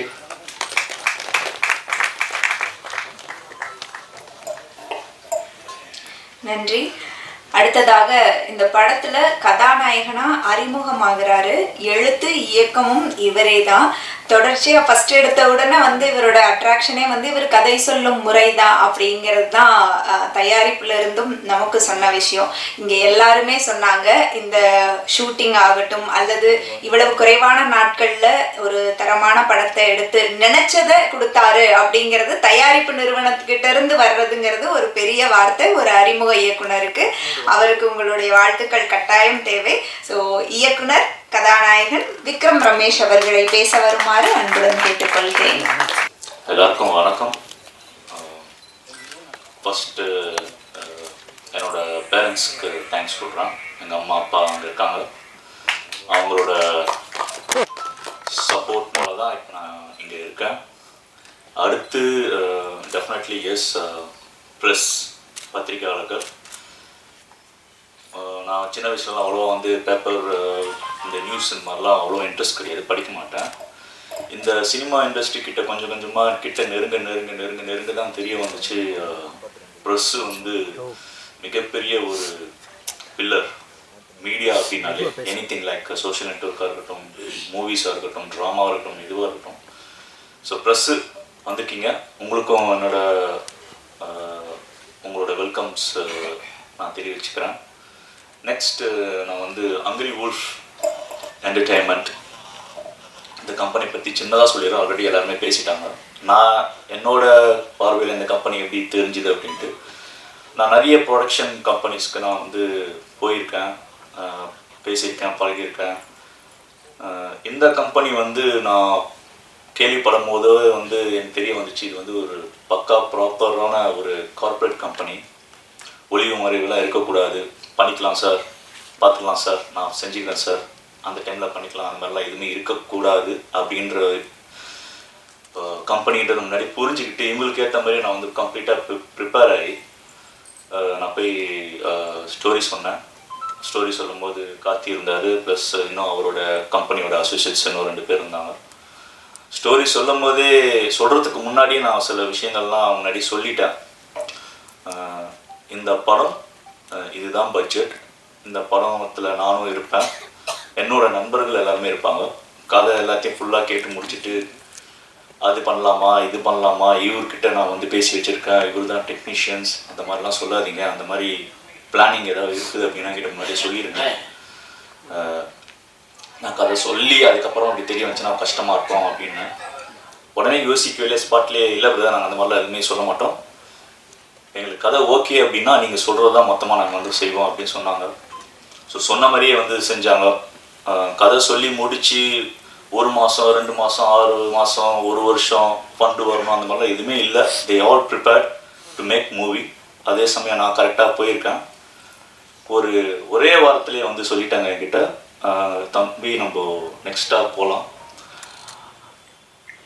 எனக்கு ரொம்ப சந்தோஷமாக தான் இருந்துச்சு. ஆனால் வந்து என்னை பொறுத்த வரைக்கும் படம் ஸ்க்ரீனில் வந்ததுக்கு அப்புறமா தான் ஒரு ப்ரொடக்ஷன் கம்பெனியாக இருக்கட்டும் ஒரு நடிகனாக இருக்கட்டும் இல்லை டெக்னீஷியன்ஸ் டெக்னீஷியன்ஸாக இருக்கட்டும் வந்துட்டாங்கன்னு அர்த்தம். ஷூட் அப்போ கூட வந்துட்டு நான் வந்து அந்த மாதிரி நினைக்க மாட்டேன். ஸோ இந்த படம் ஆரம்பித்தோம் எப்போ வந்து டெக்னீஷியன்ஸ்லாம் யார் டீம் இருக்கா அப்படின்லாம் கேட்டாங்க. உண்மையை சொல்லப்போனால் எனக்கு எல்லா டெக்னீஷ் டெக்னீஷியன்ஸ் தெரியும். ஆனால் நான் வந்து நட்பு ரீதியாக வந்து அவ்வளோவா வந்து நான் வச்சுக்கல. ஏன்னா நான் வந்து வேற ஒரு ரூட்டில் வந்து போயிட்டு இருந்தேன். அவங்களையும் வந்து டிஸ்டர்ப் பண்ண முடியாது. இந்த மேடையில் இருக்கவங்க எல்லாருமே வந்து பார்த்தீங்கன்னா நல்ல ஒரு எக்ஸ்பீரியன்ஸ்டான டெக்னீஷியன்ஸ் எல்லாருமே வந்துட்டு ரெண்டு மூணு படம் பண்ணியிருக்கிறாங்க. எல்லாமே நல்ல படங்கள். அவங்களோட ஒர்க்கும் வந்து சூப்பராக இருக்கும். அதெல்லாம் பார்த்து வச்சுருந்தேன். சும்மா ஃபோன் போட்டு அவங்கள வந்து டிஸ்டர்ப் பண்ண முடியாது. நான் வந்து இந்த மாதிரி ஒன்று பேசிகிட்டு இருக்கேன். ஒரு படம் பண்ண போகிறேன் அது ஓகே அப்படின்னா நான் கூப்பிட்றேன் நீங்கள் வந்து படம் பண்ணுங்கள் அந்த மாதிரிலாம் எதுவுமே டிஸ்டர்ப் பண்ணவே இல்லை. எனக்கு கதை ஓகே ஆச்சு. ஓகே ஆகி அடுத்த ஒரு வாரத்தில் தான் நான் வந்து எல்லாருக்கும் கால் பண்ண ஆரம்பித்தேன் தளபதி ரத்னம் டிஓபி ஒன்றுமே சொல்ல தலைவா நீங்கள் வந்து ஃப்ரீயாக இருக்கீங்களா அப்படின்னா ஆ ஃப்ரீயாக இருக்கேன் அப்படின்னாரு. நம்ம ஒரு படம் ஒன்று ஓகே இருக்குது நீங்கள் தான் அதில் டிஓபி என்ன ப்ரோ சொல்கிறீங்க திடீர்னு ஃபோன் போட்டு படம் ஓகே இருக்குது டிஓபின்றீங்களே அப்படின்னு மாதிரி மற்ற விஷயம்லாம் அப்புறமா சொல்கிறேன் அப்படின்னு சொல்லிட்டு அடுத்து சூர்யாவுக்கு ஃபோனை போட்டேன். ஆர்ட் டைரக்டர் சூர்யாவுக்கு ஃபோனை போட்டு சொன்னேன் தலைவா நம்ம வந்து ஒரு ரெண்டு வருஷத்துக்கு முன்னாடி ஒரு சவுத்துக்கு ஒன்று ஒட்டணும். அதுக்கு எவ்வளோ செலவாகும்? அப்படின்னு சொல்லி கேட்ட ஞாபகம் இருக்கா அப்படின்னா ஆமாம் பிரதர் சொல்லுங்கள் பிரதர்னாரு ஒட்ட வேண்டிய நேரம் வந்துருச்சு. நீங்கள் அடுத்த வாரம் வாங்க நம்ம மீட் பண்ணலாம். அப்படின்னு அதுக்கு அடுத்து கலாச்சாரன். கலாச்சாரன் வந்து லாஸ்ட்டாக தான் வந்தார் அவர் சொன்ன மாதிரி. ஆனால் நான் அந்த டீம் பில்ட் பண்ணும்போதே வந்து மியூசிக் டைரக்டர் வந்து கலாச்சாரம் தான் இருந்தார். ஒரு சந்தர்ப்ப சூழ்நிலை ஆரம்பத்திலே வந்துட்டு ஸ்டார்டிங்லேயே வந்து ஒர்க் பண்ண ஸ்டார்ட் பண்ண முடியல. பட் என் மைண்டில் இருந்துச்சு. கண்டிப்பாக இவர் வந்து லாஸ்ட்டில் வந்து ஜாயிண்ட் அடிச்சுவார் அப்படின்ட்டு. அதான் நடந்தது. ஸ்டண்ட் மாஸ்டர் சூர்யா தான் வந்து இவர் இன்ட்ரடியூஸ் பண்ணார். எனக்கு வந்து ஸ்டண்ட்டு இந்த ஸ்டண்ட் அந்த அந்த விஷயம்லாம் எனக்கு அவ்வளோவா தெரியாது. நிறைய படங்கள் பார்ப்பேன். வந்தார் ரொம்ப கரடுமுரடாக இருந்தார். இது எப்படி அப்படின்ற மாதிரி யோசிச்சுட்டு இருந்தேன் கடைசியில் பார்த்தா சும்மா- நான் இது வரைக்கும் இந்த படத்தில் மீட் பண்ண கேரக்டர்ஸ்லேயே ரொம்ப சாஃப்டான கேரக்டர் வந்து ஓம் பிரகாஷ் அண்ணன் அவர் தான் எங்கள் மூணு பேருக்கும் வந்துட்டு இந்த படத்தில் வந்து ஒரு சின்ன ஒரு ஸ்ட்ரகிள் மாதிரி தான் வச்சோம். ஆனால் இவர் வந்ததுக்கப்புறம் என்ன ஆகிட்டாரு? அது வந்து ஸ்ட்ரகிளை தூக்கிட்டு அது வந்து ஃபுல்லாக ஃபைட் ஆகிட்டாரு. அது பண்ணும்போது இப்போ சிவானா அவர் அவர் என்ன சொல்ல வந்தார்ன்றது அப்படியே அமுக்கிட்டாரு. ஆக்சுவலாக வந்து அவர் நிறைய சம்பவங்கள் நடந்துச்சு படத்தில். எனக்கும் சரி கார்த்தி நடிச்சிருந்தார் அவருக்கும். ஸோ ஒரு மூணு நாள் வந்து ஒரு மிகப்பெரிய ஒரு அனுபவமாக இருந்துச்சு. ஏன்னா எங்களுக்கு ஃபஸ்ட் டைம் ஸ்டண்ட்டு பட் ஸ்டண்ட்டும் வந்து பார்த்திங்கன்னா காமிக்கலாகவும் இருக்கணும் கமர்ஷியலாகவும் இருக்கணும். ஸோ நல்ல ஒரு டெலிவரி கொடுத்தாரு. நெக்ஸ்ட்டு வேல் எடிட்டர் வேல் முகன் அவர் ஏதோ ஒரு தவிர்க்க முடியாத ஒரு சுச்சுவேஷனில் மாட்டிக்கிட்டார் நினைக்கிறேன் அதான் வரல. அவரும் வந்து இந்த படத்தில் வந்துட்டு அவருடைய க க- கடினமான ஒரு உழைப்பை போட்டிருக்காரு. படம் பார்க்கும்போது தெரியும். அந்த- அந்த கட்ஸ் நீங்கள் டீசர்லேயே நீங்கள் அந்த கட்ஸ் பார்த்துருப்பீங்க. இந்த டீசர் சின்ன ஒரு ஒரு வீடியோலேயே வந்துட்டு இவ்வளோ வேலையை காமிச்சிருக்காரு அப்படின்னா அடுத்து ட்ரெய்லர் சாங்ஸு அதுக்கப்புறம் படமாக போலாக பார்க்கும்போது பார்த்தீங்கன்னா இன்னும் ஒண்டர்ஃபுல்லாக வந்து ஒர்க் பண்ணியிருப்பாரு அடுத்து மஸ்தான் பாய் அவர் வந்து இவங்க நம்ம மேடம் சொன்ன மாதிரி அவர் கிட்டத்தட்ட ஒரு ஹண்ட்ரட் ப்ளஸ் ஷார்ட் ஃபிலிம்ஸ் பண்ணியிருக்காரு ரொம்ப பிஸியான கேரக்டர் எப்போ ஃபோன் பண்ணாலுமே வந்துட்டு நான் வந்து நைட் ஷூட் ஒரு நைட் ஷூட் முடிச்சதுக்கப்புறம் காலையில் பேசினா பார்த்தா காலையில் ஷூட் அதாவது நைட்டு ஒரு படம் மதியானம் ஒரு படம் சாயங்காலம் ஒரு படம். எங்களுக்கு ஒரு குரூப் இருக்குது அந்த குரூப்பில் வந்து பார்த்தீங்கன்னா வாரம் மூணு ஷார்ட் ஃபிலிம் லிங்க் அனுப்புவார் இவரோட ஷார்ட் ஃபிலிம் பார்த்து பார்த்தே நான் வந்துட்டு அதுக்கப்புறம் அந்த குரூப் விட்டே வெளியே வந்துட்டேன். ஏன்னா இவரோட லிங்க் மட்டுமே வந்துட்டு வந்துட்டே இருக்கு. ஸோ நான் அவர் வந்து நான் ஒரு நாள் வந்து படம் பண்ணணும் அப்படின்னா எப்படியாச்சும் மஸ்தான் பாய் அப்படின்ற ஒரு கேரக்டர் வந்து உள்ளே கொண்டு வரலாம் அப்படின்னு சொல்லி யோசிச்சுட்டு இருந்தேன். ஆனால் ஆக்சுவலாக என்ன நடந்துச்சுன்னா அந்த கேரக்டர் வந்து ஒரு பெரிய ஒரு ஆக்டர் தான் நாங்கள் வந்து பேசி வச்சுருந்தோம். அது ரொம்ப அவர் வந்து ரியல் லைஃப் அதாவது பெரிய பெரிய படங்களில் வந்துட்டு அவர் வந்து நடி நடிச்சிட்ருக்காரு அவரை நாங்கள் பார்த்து நான் வந்து ஒன்லைன் சொன்னேன். ஒன்லைன் சொன்னோடனே அவர் ரொம்ப இன்ட்ரெஸ்ட் ஆகிட்டார் ஏன்னா அந்த கேரக்டர் அவரே வந்து இது வரைக்கும் அந்த மாதிரி கேரக்டர் அவர் பண்ணது கிடையாது. சும்மா அங்கே வந்து வந்து வந்து தான் போவார். பண்ணிடலாம் அப்படின்ட்டார். ப்ரொடக்ஷன் கிட்டே சொல்லிட்டார். பேமெண்ட்லாம் ஒன்றும் இல்லைப்பா. இது இந்த கேரக்டர் நல்லா சூப்பராக இருக்குது வெயிட்டாக இருக்குது படம் ஃபுல்லாகவே வருது. நானே பண்ணுறேன் அப்படின்ட்டாரு. ப்ரொடக்ஷன் வந்து ப்ரோ ஓகே சொல்லிட்டாரு. அப்படின்னு போயிடலாம் அப்படின்னு போயிடலாம் அப்படின்ட்டான். அப்படியே கொஞ்சம் ஷூட்டுக்கு வந்து அடுத்து ஒரு பத்து பதினஞ்சு நாள் தான் இருக்குது எனக்கு ஏதோ தோணிக்கிட்டே இருந்துச்சு. அவர் ரொம்ப பிஸி நம்பாலும் பிஸி தான். ஆனால் வேற ஒரு ஏரியாவில் இருக்காரு. நமக்கு தெரிஞ்சவர். இந்த கேரக்டரில் அவர் உட்காருவார் சரி அவர் அந்த ரூட்லேருந்து எடுத்து இந்த ரூட்டில் விடுவோம் அப்படின்னு சொல்லிட்டு அவர்கிட்ட ஒன்றும் சொல்ல அவர் கேரக்டர் நான் சொல்லலை. ஒரு முக்கியமான ரோல் எதுவுமே சொல்லலை. வர சொன்னேன் வந்த உடனே ப்ரொடக்ஷனை மீட் பண்ணி பேசினதுக்கப்புறம் இவர் கேட்டார் இவர் தான் இப்போ இந்த கேரக்டர் பண்ணுறா நீங்கள் என்ன சொல்கிறீங்க அப்படின்னா ப்ரொடக்ஷன் வந்து ஓகே சொல்லிட்டான் கரெக்டாக வருமா? அப்படின்போது கரெக்டாக வரும். அப்படின்னு உடனே முடிஞ்சிருச்சு. அதுக்கப்புறமா தான் அவர் என்ட்ரி கொடுக்குறாரு. ஷூட்டிங் ஸ்பாட்டில் வந்ததுக்கப்புறம் தான் தெரிய வருது அவருக்கு ஒரு கேரக்டர் வந்து ரொம்ப பெரிய ஒரு கேரக்டர் அவருக்குன்ட்டு ஒரு பிஜிஎம் இருக்குது ஃபைட் இருக்குது டைலாக்ஸ் இருக்குது எமோஷன்ஸு நிறைய விஷயம் இருக்குது ஸோ எனக்கு ரொம்ப சந்தோஷமாக இருக்குது சிவகுமார் ராஜுவை வந்து என்னோட படத்தில் வந்துட்டு நான் அவருக்கு ஒரு வெயிட்டான ஒரு கேரக்டர் கொடுத்து இன்ட்ரடியூஸ் பண்ணியிருக்கேன். சிவகுமார் ராஜு டெஃபினட்டாக நீங்கள் இந்த படத்துக்கு அப்புறம் உங்களுக்கு நிறைய வாய்ப்புகள் வரும். நீங்களும் அதை கரெக்டாக பயன்படுத்தி மேலே வந்துடுவீங்க என்னோட வாழ்த்துக்கள். அடுத்து ஸ்ரீனிக் நம்ம படத்தோட லிரிக்ஸிஸ்ட் எனக்கு மியூசிக் டேரக்டர் பேசும்போது நான் லிரிக்ஸிஸ்ட் ஒருத்தர் ஃபோன் பண்ணுவார். நீங்கள் சுச்சுவேஷன் எக்ஸ்பிளைன் பண்ணுறங்க அப்படின்னாரு. எனக்கு கதை சொல்லி பழக்கம் இருக்குது லிரிக்ஸிஸ்ட்ன்றது ஒரு நம்ம ஒரு சீனை சொல்லுவோம். அந்த சீனுக்கு ஏற்ற மாதிரி வரிகளை வந்து எழுதி அந்த வரிகளும் என் சீனுக்கும் வந்து கனெக்ட் ஆகணும். அதை நான் எப்படி சொல்ல போகிறேன் எனக்கு தான் அந்த எக்ஸ்பீரியன்ஸ் கிடையாது எனக்கு. இது எப்படி சொல்ல போகிறேன் இவர் மண்டையில் நான் எப்படி அதை போய் சேர்க்க போகிறேன்றதே ஒரே குழப்பமா இருந்துச்சு. யோசிச்சு இருக்கும்போது கால் வந்துருச்சு. வந்ததுக்கப்புறம் ஒரு அஞ்சு நிமிஷம் தான் பேசினேன். புழைச்சலாம் என்ன கதை சொன்னோம் அந்த கதையை நான் அப்படியே சொல்லினேன் ஒரு அஞ்சு நிமிஷம் சொன்னேன். சொன்ன உடனே ரொம்ப சென்சிபிளாக கரெக்ஷனும் கிடையாது. இந்த இந்த லைனு இந்த வேர்டு வந்து சம்மந்தமே இல்லையே. இன்னும் வேணும் அப்படின்றது மாதிரி எந்த கரெக்ஷனுமே இல்லை. அவர் எனக்கு ஒரு டூ டேஸில் அனுப்பிச்சிங்களா டூ டேஸில் அனுப்பிச்சாரு. பார்த்தா அப்படியே வந்து ஒத்து போச்சு. அந்த கேரக்டர்ஸ்லாம் எப்படி புரிஞ்சுக்கிட்டாருன்னு தெரியல. ஏன்னா அவர் வந்து படம் பார்க்குற கதையும் கேட்கல. ஆனால் somehow he so you did a great job நீங்கள் மேலும் மேலும் நிறைய திரைப்படங்களுக்கு லிரிக்ஸ் எழுதணும். என்னோட அடுத்தடுத்த படங்களும் நீங்கள் வந்து எழுதுங்க. அடுத்து ஆக்ஷன்ஸ் அண்ட் ரியாக்ஷன்ஸ் இவர் வந்து நிறைய படங்கள் வந்து பண்ணியிருக்காரு. ப்ளஸ் எங்கள் படத்தை வந்து அவர் வந்து ரொம்ப ஸ்பெஷலாக எடுத்திருக்காரு. அது எனக்கு ரொம்ப தேங்க்ஸ் அதை நான் உங்ககிட்ட கேட்கும் போது ரொம்ப சந்தோஷமாக இருந்துச்சு.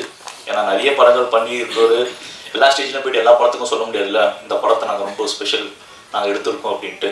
இந்த படத்துக்கு சொல்லவே அதுலேருந்து எனக்கு புரிஞ்சுது. ஸோ அவர் ஒன்று கணிச்சிருப்பார் இந்த படம் நல்லா இருக்கு. இந்த படத்துக்கு நம்ம வந்து இன்னும் எக்ஸ்ட்ராவாக நிறைய உழைச்சோம் அப்படின்னா அது நம்ம போய் சேர இடத்துல போய் சேர்ந்துடும் நம்மளும் போய் சேர்ந்துடும் அப்படின்னு ஒரு கால்குலேஷன் அவர் போட்டனால தான் இது சொல்லியிருக்காருன்றது எனக்கு புரிஞ்சிருக்கு. அடுத்து இந்த படத்தை பற்றி நான் சின்னதாக ஒரு விஷயம் சொல்கிறேன் இப்போ நிறைய டாக்ஸ் போயிட்டுருக்குல்ல சின்ன படம் பெரிய படம் என்னை பொறுத்த வரைக்கும் படம் அவ்வளோதான் ஏன்னா நான் எல்லா படமும் பார்க்குறோம். நான் வந்து சின்ன படம் பெரிய படம்ன்றது வந்து படத்துலேயும் வந்து வெளியே வருது இல்லை ஊடகத்துலேயும் எதுவும் சொல்கிறது கிடையாது அந்த மாதிரி. ஒரு படத்துக்கு தேவையானது ரெண்டே ரெண்டு என்னை பொறுத்த வரைக்கும் ஒரு நல்ல கதை. அந்த கதையை பண்ணுறதுக்கு ஒரு ப்ரொடக்ஷன் அவ்வளோதான் ஸோ நான் வந்து என்ன முடிவு பண்ணேன்னா எனக்கு இது முதல் படம். நான் வந்து நிறைய பிரம்மாண்டமான ஓரளவுக்கான கோடிகளில் வரக்கூடிய கதைகள்லாம் வச்சுருந்தாலும் அந்த கதையெல்லாம் தூக்கி ஓரமாக வச்சுட்டேன். ஏன்னா முதல் படத்தப்போ நம்ம வந்துட்டு போகிற மீட் பண்ணுற ப்ரொடியூசர் கிட்டலாம் இது வந்து இத்தனை கோடி ஆகும் சார் இத்தனை கோடி ஆகும் சார் அப்படி சொன்னால் இப்போ இருக்க கரண்ட் சுச்சுவேஷனுக்கு எந்த ப்ரொடியூசரும் வந்துட்டு புதுசாக வந்திருக்கானால இவ்வளோ கோடி சொல்கிறானே இவங்களை வச்சு படம் பண்ண முடியுமா? இவன் படம் பண்ணுவானா? பணத்தை ஒழுங்காக செலவு பண்ணுவானா? இல்லை ஏமாத்துவானா? அப்படின்னு அதுதான் ஓடிட்டு இருக்கோம் தவிர இந்த படம் நம்ம பண்ணி நல்லா வந்துருமா அப்படின்ற ஒரு இதுவே வராது. ஸோ நான் மைண்டில் வச்சது என்ன அப்படின்னா நம்ம வந்து ஒரு கதை சொல்லுவோம். அந்த கதைக்கான காம்பாக்டான பட்ஜெட்டை கொடுப்போம். இந்த படத்தை வந்து இவங்க பண்ணணும் பண்ணி ஆகணும். நான் எந்த ப்ரொடியூசர்கிட்ட போய் கதை சொல்கிறோமோ அந்த ப்ரொடியூசர் இந்த படத்தை பண்ணி ஆகணும். அதுக்கு வந்து கதை வந்து ஸ்ட்ராங்காக இருக்கணும். அந்த கதைக்கு ஏற்ற பட்ஜெட் மட்டும்தான் இருக்கணும். அப்படின்னு முடிவு பண்ணி உருவாக்கப்பட்ட இந்த கதை தான் ஃபஸ்ட்டு ஸ்டெப் ரெண்டாவது விஷயம் என்னென்னா இந்த படம் உருவாகி மார்க்கெட் தேட்டர் ஓடிடி ஏதோ ஒன்று அதில் வரும்போது ஆடியன்ஸ் வந்து இந்த படத்தை பார்த்துட்டு இந்த படம் எப்படி இருக்குது அப்படின்னு சொல்லி யாராச்சும் ரிவ்யூ கேட்டால் நிறைய பேர் சொல்லுவாங்க ஃபர்ஸ்ட் ஹாஃப் நல்லா இருக்குது செகண்ட் ஹாஃப் சூப்பராக இருக்குது இந்த கேரக்டர் வந்து எதுக்கு வந்தாங்கன்னு தெரியல ஒரே போர் அடிக்குது. மியூசிக் வந்து சம்மந்தமே இல்லாமல் போட்டிருக்காங்க. அப்படி எதுவுமா எதுவுமே வரக்கூடாது. நல்லா இருக்கான்னு கேட்டால் நல்லா இருக்குது படம் பார்க்கலாம். இப் இந்த டைலாக் தான் வந்து எல் எல்லாரோட ஆடியன்ஸோட வாயிலேருந்து வரணும். அப்படி இல்லைன்னா முதல் படம் நம்ம வந்து தப்பான ஒரு விஷயத்த நம்ம எடுத்துகிட்டு போய் விட்டுறோம் அப்படின்னு சொல்லிட்டு கஷ்டப்பட்டு முடிவு பண்ணி யோசித்து இந்த படத்தை வந்துட்டு பண்ணணும் முடிவு பண்ணி தான் ப்ரொடக்ஷன் கிட்ட வந்து கொடுத்துருக்கோம். ஸோ அந்த படம் நல்லபடியாக வந்திருக்கு. ரொம்ப சூப்பராக வந்திருக்கு. அப்படி தான் எல்லாரும் சொல்லுவாங்க. நானும் நானும் அதான் சொல்லி ஆகணும். படத்தை வந்து தேட்டரில் போய் பாருங்கள் டூ ஹவர்ஸ் இந்த டூ ஹவர்ஸும் பார்த்தீங்க அப்படின்னா கம்ப்ளீட்டாக பேக்டாக ஒரு என்டர்டெயின்மெண்ட்டாக இருக்கும். ப்ளஸ் இதில் வந்து எமோஷன்ஸ் இருக்குது ஃப்ரெண்ட்ஷிப் இருக்குது ரொமான்ஸ் இருக்குது எங்கேயோ கேள்விப்பட்ட மாதிரி இருக்குல்ல இந்த டைலாக் ஃப்ரெண்ட்ஸ் ஃப்ரெண்ட்ஷிப் எல்லாமே இருக்குது ப்ளஸ் இது எல்லாமே வந்து திணிக்கணும் அப்படின்றதுக்காக கிடையாது. இது கதையாக வந்து அமைஞ்சு போயிடுச்சு. ரொம்ப அருமையாக இருக்கும். தேரில் போய் பாருங்கள் பார்த்துட்டு இதை பற்றி அந்த ஃபர்ஸ்ட் டே ரிவ்யூ பொறுத்து தான் வந்து எல்லா விஷயமும் இருக்குது அடுத்த ஒரு வாரமோ பத்து நாளோ பதினஞ்சு நாளோ அப்படின்ற ஒரு விஷயம். ப்ளஸ் அக்டோபர் சிக்ஸ்த்துக்கு அப்புறம் மிகப்பெரிய படங்கள்லாம் வருது. ஸோ எங்களோட கேம் வந்து பார்த்திங்கன்னா அந்த அந்த பெரிய படங்கள் உள்ளே வர வரைக்கும் தான். அதுக்கு முன்னாடி நாங்களால் முடிஞ்ச அளவுக்கு நாங்கள் சிக்ஸஸ்லாம் அடிச்சாகணும் ஸோ உங்களோட ஹெல்ப் எங்களுக்கு தேவை. மற்றபடி அவ்வளோதான் ப்ளஸ் இன்னொரு முக்கியமான விஷயம் இந்த படத்தில் வந்து எனக்கு ரெண்டே ரெண்டு அசிஸ்டன்ஸ் தான் வேலை செஞ்சாங்க. படம் பண்ணி முடிச்சதுக்கு அப்போ தான் கேள்விப்பட்டேன். என்ன ப்ரோ ரெண்டு பேர் வச்சா பண்ணீங்க? அவன் வந்துட்டு அஞ்சு பேர் ஆறு பேர் பத்து பேர் வச்சுலாம் பண்ணுறாங்க நீங்கள் ரெண்டு பேர் வச்சு தான் பண்ணீங்களா அப்போ தான் எனக்கே தெரிய வருது. ஓ ஓ நம்ம ரெண்டு பேர் வச்சே நம்ம வேலையை பண்ணிட்டோமா அப்படின்ட்டு அவங்க ரெண்டு பேரும் நான் ஸ்டேஜில் கூப்பிடுறேன். தயவுசெய்து அவங்களுக்கு ஒரு கிளாப்ஸ் கொடுத்துருங்க. நிரஞ்சன் அண்ட் ஸ்ரீனா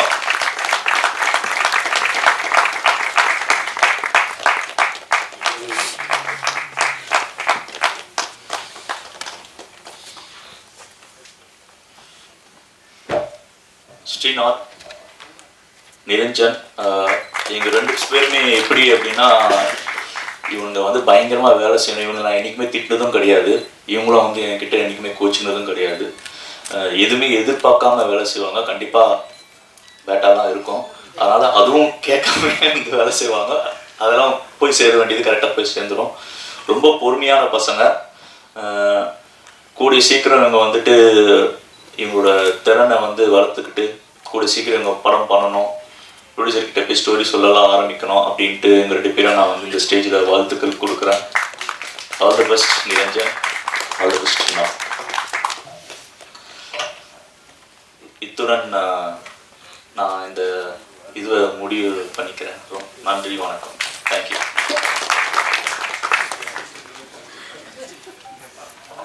தேங்க்யூ அறிமுக இயக்குனராக இருக்கும் பட்சத்திலும் அவங்க கிட்ட இருந்த அசிஸ்டன்ஸையும் கூப்பிட்டு அங்கீகரிச்சது அப்படிங்கிறது ரொம்ப நல்ல விஷயம். அடுத்ததாக அனௌன்ஸ்மெண்ட் டே போஸ்டர் வெளியீடு. இதுக்கு இங்கே இருக்கிற மூத்த ஊடகவியலாளர்களான நீங்க தான் இந்த அனௌன்ஸ்மெண்ட் டேட் போஸ்டரை வந்து வெளியிட போறீங்க. Mister Devimani sir Devaraj sir Chitra Mani sir Peruthulasi Palanivel அவர்கள் ஜூவி குணா அவர்கள் ஜெயச்சந்திரன் அவர்கள் வி கே சுந்தர் அவர்கள் அசோக் அவர்கள். இவர்களை மேடைக்கு வருமாறு அன்புடன் கேட்டுக்கொள்கிறேன். இவர்கள் போஸ்டர் வெளியிட படக்குழுவினர் பெற்றுக்கொள்வார்கள். முடிஞ்சதுக்கு அப்புறம் கொஸ்டின் ஆன்சர் இருக்கு. ஸோ படக்குழுவினர்கள் கிட்ட கேள்வி கேட்கலாம். மூத்த ஊடகவியலாளர்கள் இந்த அனௌன்ஸ்மெண்ட் டேட் போஸ்டரை வெளியிட படக்குழுவினர் பெற்றுக்கொள்கிறார்கள்.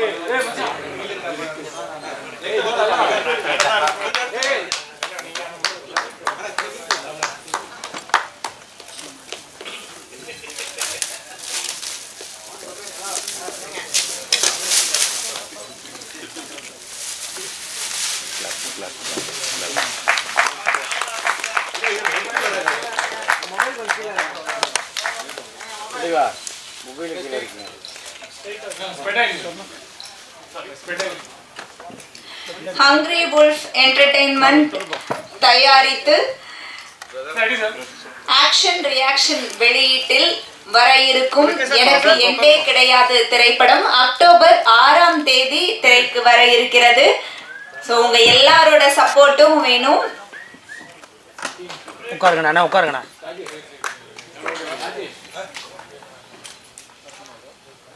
அசோக் முன்னாடி வாங்க.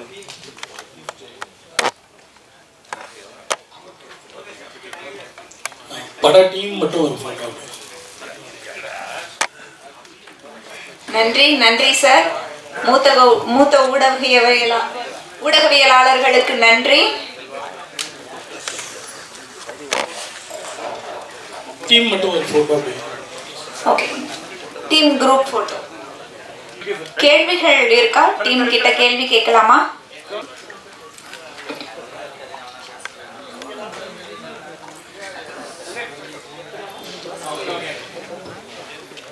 ஸோ உங்களுடைய கேள்விகள்.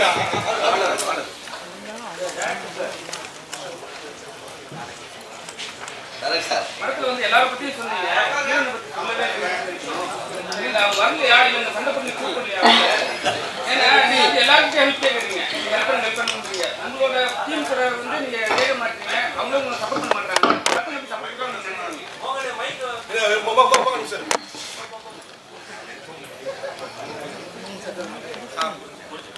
நீங்க வந்து ஹீரோயின் வரல சரிங்களா அந்த ஸ்டேடியமே வந்து விரிச்சோடி இருக்கு ஒரு கலையே இல்லை. சரிங்களா நீங்க வந்து எல்லாரும் பத்தியும் பேசுனீங்க. ஆனா வந்து உங்க ஹீரோயினை பத்தி பேசல. ஏன் இது என்ன சண்டையா? வரலையா? நீங்க கூப்பிடலையா? நீங்க எல்லார்கிட்டயும் வந்து ஹெல்ப் பண்ணணும்னு கேட்குறீங்க ஆனா என்ன பண்றீங்க? எங்க கிட்ட கேட்குறீங்க ஆனா உங்க உங்க சக நடிகர்கிட்ட கூட நீங்க கேட்க மாட்டீங்கன்னு நாங்க நினைக்கிறோம். நீங்க என்ன பண்றீங்க? இருக்கா? ஆ இருக்கு. ஆஹ் படத்துல வந்துட்டு ஹீரோயின் அப்படின்றது கேரக்டர் வந்து படத்துல கிடையாது. ரெண்டு ஃபீமேல் கேரக்டர் இருக்காங்க. அதில் ஒரு கேரக்டர் வந்து one of the lead role ரொம்ப ஸ்ட்ராங்கான ஒரு ரோல் தான் அது. அந்த கேரக்டர் கிட்ட இருந்து தான் படமே வந்து ஸ்டார்ட் ஆகும். அவங்க ஏன் வரல அப்படின்னு சொல்லி நீங்கள் கேட்டிருந்தீங்க. ஆக்சுவலாக அவங்க ஏன் வரல அப்படின்றது எங்களுக்கே தெரியாது. ஏன்னா எங்களால் வந்து அவங்களோட கனெக்ட் ஆக முடியல. ஏன் கனெக்ட் ஆக முடியலன்னா எங்களோட மெசேஜ்க்கும் கால்ஸ்க்கும் வந்துட்டு ரெஸ்பாண்ட் கிடையாது. அது மீறி எங்களால் எப்படி க கண்டுபிடிக்க முடியும்? நாங்கள் வந்து எந்த ஷூட்டிங்கில் இருக்கா கண்டுபிடிச்சி ஷூட்டிங் ஷூட்டிங் ஸ்பாட்டுக்கும் போக முடியாது. மேபி அவங்க வந்து ரொம்ப பிஸியாக இருக்கலாம். அவங்க வந்துட்டு இப்போ இந்தியன் டூவில் பண்ணி முடிச்சிருக்காங்க. கேப்டன் மில்லரில் ஒரு ஒரு கேரக்டர் பண்ணியிருக்காங்க மேபி அது அடுத்து- அடுத்தடுத்து பெரிய படங்களில் பிஸியாக இருக்கலாம். அதனால் வந்துட்டு எங்களை தவிர்க்கப்பட்டிருக்கலாம். தவிர்க்கப்படாமலையும் இருந்திருக்கலாம். மெசேஜ் போய் சேர்ந்துருக்காது. தெரியல. நாங்கள் வந்துட்டு எங்களோட எங்கள் எங்களோட பார்ட்டை வந்துட்டு நாங்கள் ரொம்ப ப்ரொஃபஷ்னலாக வந்துட்டு அவங்களுக்கு எல்லாமே வந்து அப்டேட் பண்ணிட்டு இருப்போம். இப்போ கூட ரீசெண்டாக நாங்கள் போஸ்டர் ரிலீஸ் பண்ணுறதுக்கு முன்னாடியே அவங்களுக்கு வந்து பர்சனலாக வந்து போஸ்டர் வந்து அனுப்பிச்சிருக்கேன். ப்ளஸ் நான் வந்து ப்ரொடக்ஷன் கிட்ட சொல்லி ப்ரொடக்ஷன் ப்ரோ நான் சொல்லிட்டேன் அப்படின்னு வைக்கக்கூடாது. ப்ரொடக்ஷன் வந்து நீங்களும் வந்துட்டு ஒரு வார்த்தை வந்து ஃபோன் போட்டு சொல்லிடுங்க. நேற்று முன்னானத்து கூட again Karthik try to connect Swayam Siddha. தி- திருப்பி நான் நைட் ஃபோன் பண்ணி கேட்டேன் வந்தாங்களா அப்படின்னு. அப்படின்ட்டு இல்லை கனெக்ட் ஆகலை ப்ரோ எந்த ரிப்ளையும் வரல. வாய்ஸ் மெசேஜும் போட்டிருக்கேன் அப்படின்னாங்க. நானும் வந்து ரீசெண்டாக வந்துட்டு பத்திரிகைக்கு அந்த ஃபோட்டோஸ் கொடுப்பேன் இல்லையா? அதுக்காக வந்து திருப்பி காண்டாக்ட் பண்ண ஏதாச்சும் ஒரு நல்ல ஃபோட்டோ இருந்தால் அனுப்புங்க அப்படின்ட்டு. எனக்கு அப்பவும் ரிப்ளை வரல. மேபி அவங்க ரொம்ப பிஸியாக இருக்கலாம். அது அது எங்களுக்கு பெரிய பெரிய தப்பாகவும் தெரியல. அதனால தான் நாங்கள் வந்து அதை பற்றி அவ்வளோ பெருசாக பேசலை. எல்லாரும் அவங்க அவங்க இதில் வந்து பற்றி நிறைய விஷயங்கள் இருக்கலாம். பர்சனலாகவும் இருக்கலாம். இருக்கலாம். ஸோ அதனால் அதனால தான் நான் அதை பற்றி எதுவும் பேசலை. படத்தோட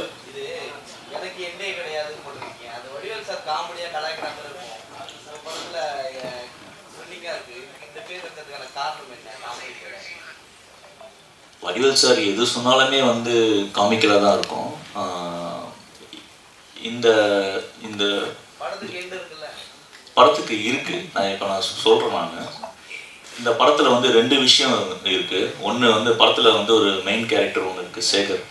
அந்த சேகர் வந்து பார்த்தீங்கன்னா ஒரே நைட்டில் நிறைய சம்பவங்களை வந்து மீட் பண்ணுவோம் பிரச்சனை சண்டை கத்தி குத்து துப்பாக்கி சூடு அதுக்கப்புறம் போலீஸு இன்வெஸ்டிகேஷன் நிறைய விஷயங்கள் ஃபேஸ் பண்ணி இதோட நம்ம லைஃப் முடிஞ்சு போச்சுன்னு சொல்லி டைம் டிக்கிங்கு இந்த இந்த நொடிக்கு அப்புறம் செத்துருவான். இல்லை அவன் வந்து லைஃப் வந்து போலீஸ் ஸ்டேஷன்லேயே அதாவது ஜெயிலே வந்து க- போயிடும் அப்படின்ற ஒரு முடிவு பண்ணி அப்புறம் படம் முடியும். ஆனால் படம் வந்து திருப்பியும் வந்து தொடங்கும்.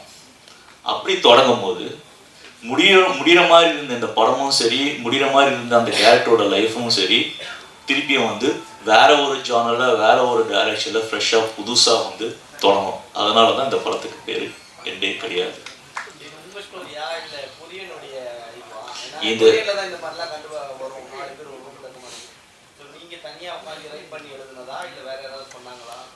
இது எந்தவித கொரியனோ ஹாலிவுடோ இந்த ப்ரொடக்ஷன்கிட்டே நான் ஃபஸ்ட்டு நான் வந்து சொன்னேன். இது pure and pure fresh subject ஒரே இடத்துல இருக்கவே வந்து நிறைய பேர் வந்துட்டு அங்கங்கே அங்கங்கே எடுத்து வந்து சொல்கிறதுக்கான வாய்ப்பு இருக்குது நீங்கள் நீங்கள் நிறைய படம் பார்ப்பீங்கன்னா இவங்களாம் நிறைய படம் பார்ப்பாங்க. இவர் இவங்க மொத்த அசிஸ்டன்ட் நிறைய படம் பார்ப்பாங்க. நீங்களாம் நிறைய படம் பார்ப்பீங்க. உங்களுக்கே நான் கதை சொல்ல வரும்போது எனக்கு தெரிஞ்சிடும் அப்படின்னு சொல்லிட்டு தான் வந்து கதை சொன்னேன். இந்த கதை வந்துட்டு முழுக்க முழுக்க நானே உட்காந்து நான் எனக்கு அவ்வளோவா எழுத வராது. தமிழில் சில பிழைகள் இருக்கும். நான் சொல்ல சொல்ல என்னோடய அசிஸ்டன்ஸ் உட்காந்து எழுதுவாங்க. அதை அப்படியே கம்ப்யூட்டரில் கொண்டு வருவாங்க. அப்படி தான் இது நடந்துச்சு. ஜெனிஷ் ப்ரோ நீங்கள் பெரும்பாலும் வந்து சின்ன படங்கள்லாம் ரிலீஸ் பண்ணிட்டு இருக்கீங்க. இப்போ விஷால் சார் ரீசெண்டாக வந்து நாலு கோடி வச்சுருந்தா ப்ரொடியூஸ் பண்ண வராதீங்க அப்படிங்கிறாங்க. ஸோ அதுக்கு நீங்கள் என்ன சொல்ல விரும்புகிறீங்க ஏன்னா சின்ன படங்கள் வெற்றி அடைஞ்சிக்கிட்டு தான் இருக்கு இல்லையா? அப்படிங்கும்போது விஷால் இப்படி பேசுகிறது சரியா? சரியா தவறான்றது அது ஒரு பெரிய டாபிக் அதுக்கு டைம் இருக்காது. நான் சுருக்கமாக என்னோட வியூ சொல்லிடலாம். அது ஃபஸ்ட்டு அதை கேட்டதுமே எப்படி தோணுச்சுன்னா ஏன்னா அவர் ஒரு ப்ரொடியூசராக ப்ரொடியூசர் கவுன்சிலோட தலைவராக இருந்திருக்காரு. சக்ஸஸ்ஃபுல்லாக எனக்கு ஆக்டராகவும் ஜெயிச்சிட்டு இருக்காரு இந்த படம் ரொம்ப அந்த- ஜேர்னி ரொம்ப பெருசு. மார்க் ஆண்டனியோட ஜேர்னி ரொம்ப பெருசுன்றது இண்டஸ்ட்ரி எல்லாருக்குமே தெரியும். நிறைய ஸ்ட்ரகிளிங்க்கு அப்புறம் அந்த படம் ரிலீஸ் ஆச்சு. பெரிய வெற்றி அப்படின்றத நம்ம பார்த்துட்டோம். ஸோ அவர் ஒரு நல்லெண்ணத்தில் தான் அதை சொல்ல வந்திருக்காரு. நீங்கள் நான் ரொம்ப ஸ்ட்ரகிள் ஆனால் இன்னும் கடன் பிரச்சனை இருக்குது அப்படின்ற மாதிரிலாம் சொல்ல வந்திருக்காரு. ஆனால் அதை யாராலும் அக்செப்ட் பண்ணிக்க முடியல. சோஷியல் மீடியாஸில் பார்த்தீங்கன்னா கடந்த ஒரு டூ த்ரீ டேஸாக பயங்கர கோவத்தோட நண்பர்கள் எங்கிட்டே கேள்விகள் கேட்டாங்க. இப்போ நீ சின்ன படம் தானே ஹேண்டில் பண்ணிகிட்டு இருக்க below five crores below fifty lakhs ten lakhs first copy இந்த மாதிரி படங்கள்லாம் ஹேண்டில் பண்ணியிருக்கோம் அந்த மாதிரி படங்களும் ஜெயிச்சிருக்குது. அதையும் சொல்லணும். அவங்க இந்த கேள்விக்கு என்னால் பதில் சொல்லணும்னா அப்படி தான் சொல்லணும். ஏன்னா நாங்கள் டூ தௌசண்ட் டுவெண்ட்டியில் டே நைட்னு ஒரு படம் பத்து லட்ச ரூபாவில் எடுக்கப்பட்ட படத்தை இதே ப்ரெஸ் கிட்ட நாங்கள் காட்டி அந்த படம் வணிக ரீதியாக ஜெயிச்சது. அதே நேரத்தில் ஒரு ஃபைவ் ப்ளஸ் குரோர்ஸோட ஒரு படம். பேர் சொல்ல முடியாது இப்போது அந்த படத்தை நாங்கள் ஹேண்டில் பண்ணோம். தமிழ்நாடு கேரளா கர்நாடகா ரிலீஸ் பண்ணோம். வெறும் பத்து லட்சம் தான் வந்துச்சு. ஸோ ஃபைனலி கண்டென்ட் எப்படி இருக்குன்றதை பொறுத்து தான் அதை எப்படி மார்க்கெட்டிங் பண்ணுறோன்றதை பொறுத்து தான் அக்செப்ட் ஆகுது. வணிக ரீதியாக நம்ம ரிட்டர்ன்ஸ் எடுக்க முடியுது. திரு விஷால் அவர்கள் சொன்னது என்னோட பார்வையில் அது அவரோட தனிப்பட்ட கருத்தாக இருக்கலாம். ப்ளஸ் அவர் அவர் எக்ஸ்பீரியன்ஸ் பண்ணதை வச்சு ஒரு அட்வைஸ் பண்ண நினச்சிருக்கலாம். அதை எங்களால் எல்லாராலும் எடுத்துக்க முடியாது. ஏன்னா சிறு படங்கள் தான் இன்றைக்கி நான் ஆல்ரெடி சொன்ன மாதிரி பெரிய ஒரு வேலை வாய்ப்பை இன்னைக்கு ஒரு வணிகத்தை அதிகமாக கொண்டு வரது நான் நம்புகிறேன் பெரிய படங்கள் அதுக்கான விஷயம் உங்களுக்கே தெரியும். இன்னைக்கு மீடியாவில் பார்க்கும்போது அதுக்கான ப்ரொமோஷன்ஸ் பெருசாக தேவையே இல்லையே. நம்ம ஜஸ்ட் ஒரு செலிபிரிட்டி வந்து இதே ஸ்டேஜில் தான் அவங்களும் பேசுனாங்க. தேவையில்லை இதுக்கு அது பெரிய விளம்பரம் இல்லை. அவங்க வந்து ஸ்டேஜில் இருந்தாலே ஆட்டோமேட்டிக்காக ஃபுல் கவர் ஆகிடும் அதுக்கான மார்க்கெட்டிங் தானாகவே நடந்துருது. ஸோ என்னை பொறுத்த வரைக்கும் சிறிய படங்கள் நிறையா வரணும். ஜெனீஷ் அவர் வந்து சொன்ன விஷயம் வந்து என்னன்னா லாஸ்ட்டாக ஒரு விஷயம் சொன்னார். முந்நூறு படத்துக்கு மேலே வந்து வெட்டிங்ல இருக்கு. அதனால வந்து படத்தை வந்து உங்களால் ரிலீஸ் பண்ண முடியாது. ரொம்ப ஸ்ட்ரகிள் ஆவீங்க. அந்த நல்லதுக்கு தான் சொல்றாரு. நீங்க என்ன நீங்க என்ன சொல்ல வரீங்கன்னா எல்லாருமே வந்து தவறா சொல்ற மாதிரி தான் நீங்க கன்வே பண்ண வர்றீங்க. அது எப்படி? சரியா இருக்கும். இல்லை நான் தவறாக சொல்லவே இல்லை. இல்ல சோஷியல் மீடியால சொல்றாங்க என் ஃப்ரெண்ட்ஸ் சர்க்கிள் ஆமாம் நண்பர்கள் அவங்களோட குமரல். எல்லாமே சிறிய படங்களை ஹேண்டில் பண்ணுறவங்க அதை நடிச்சிட்டு இருப்பாங்க அதை ப்ரொடியூஸ் பண்ணியிருப்பாங்க அதை டைரக்ட் பண்ணியிருப்பாங்க நீங்கள் இந்த வாய்ஸஸ் பார்த்தீங்கன்னா எல்லாருமே ஆதங்கம். நாங்கள் சிறிய படங்களை கஷ்டப்பட்டு ஒரு ப்ரொடியூசர் பிடிச்சி நாங்கள் அதை கொண்டு வந்திருக்கோம். அப்போ இது தப்பாக சொல்லும்போது அந்த ப்ரொடியூசர் டிமோட்டிவேட் ஆவாங்கன்னு அவங்க ஃபீல் பண்ணுறாங்க மேபி அது நல்ல கனெக்டாக இருக்கலாம். அது பெருசாக வணிக ரீதியாக ஜெயிக்கலாம். இப்போது ரீசெண்டாக பார்த்துட்டீங்க இல்லையா டாடாலேருந்து ஒரு லிஸ்ட் இருக்குது குட் நைட் இருந்து லிஸ்ட் இருக்குது எல்லாமே பிலோ ஃபைவ் க்ரோஸ் அந்த ரேஞ்சில் எடுக்கப்பட்ட படங்கள் பெருசாக வருவாயிட்டு இருக்குது. அப்படி இருக்கும்போது அதை டிமோட்டிவேட் பண்ண வேணான்றது தான் இந்த சர்க்கிளோட ஒரு வாதமாக இருக்குது எங்களை பொறுத்த வரைக்கும் என்னோட தயாரிப்பாளர் சொன்ன மாதிரி தான் மீன் பிடிக்க போகும்போது பெரிய பொருளை போய் பெருசாக அள்ளிட்டு வரலாம். சின்ன ஒரு படகுல போயிட்டு அவங்களுக்கு முடிஞ்ச அளவுக்கு அள்ளிட்டு வரலாம். எல்லாருமே சம்பாதிக்கிறாங்க எல்லாருமே ஃபுல்ஃபில் ஆகிறாங்கன்றது தான் ஸோ கரெக்டான கண்டென்ட்டாக இருக்கும்போது அது சேர்ந்துருன்றது என்னோட கருத்து.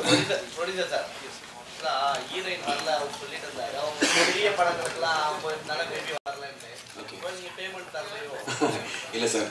ஃபஸ்ட்டு நாங்கள் இன்ட்ரடியூ அதாவது நாங்கள் போய் ஒரு கேஸ்டிங் டைரக்டர்லாம் போய் நாங்கள் பார்க்கல. இன்ஸ்டாகிராமில் அவங்களோட ஃபோட்டோஸ் பார்த்தோம். அவங்க எந்த முன்னாடி ஆட்டோ சங்கர் அந்த வெப் சீரிஸ் நான் பார்த்துருக்கேன். அவங்க போல்டாக நடிச்சிருந்தாங்க நல்லா இருந்துச்சு.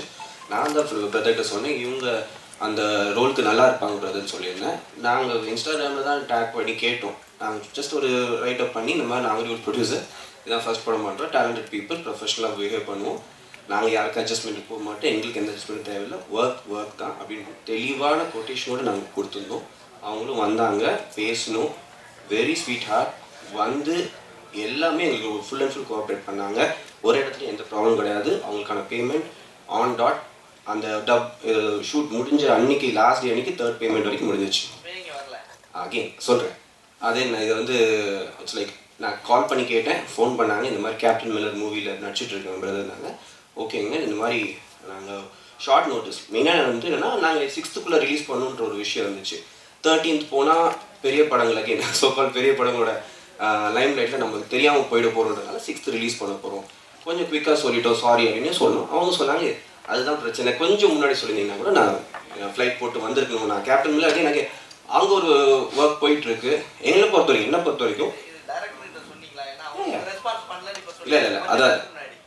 நேற்று நைட் நடந்த விஷயம் சொல்லிட்டு இருக்கேன். லைக் இவர்கிட்ட பேசிட்டு அதுக்கப்புறம் கால் பண்ணி நிறைய கால் பண்ணோம் எடுக்கல. நாங்களும் என்ன நினச்சோன்னா தெரியல என்ன ஃபோன் எடுக்க மாட்டேங்கிறாங்க. அப்புறம் அவங்க அசிஸ்டண்ட் அவங்களுக்கு கால் பண்ணி கால் கொண்டு போய் கொடுங்க இந்த மாதிரி பேசுகிறோன்னு சொல்லி அப்படி தான் லைக் புஷ் பண்ணி தான் பேச வந்துச்சு. அதனால அவருக்கு தெரியாது. அது நான் சொல்ல நான் பேசும்போது சொன்னேன்.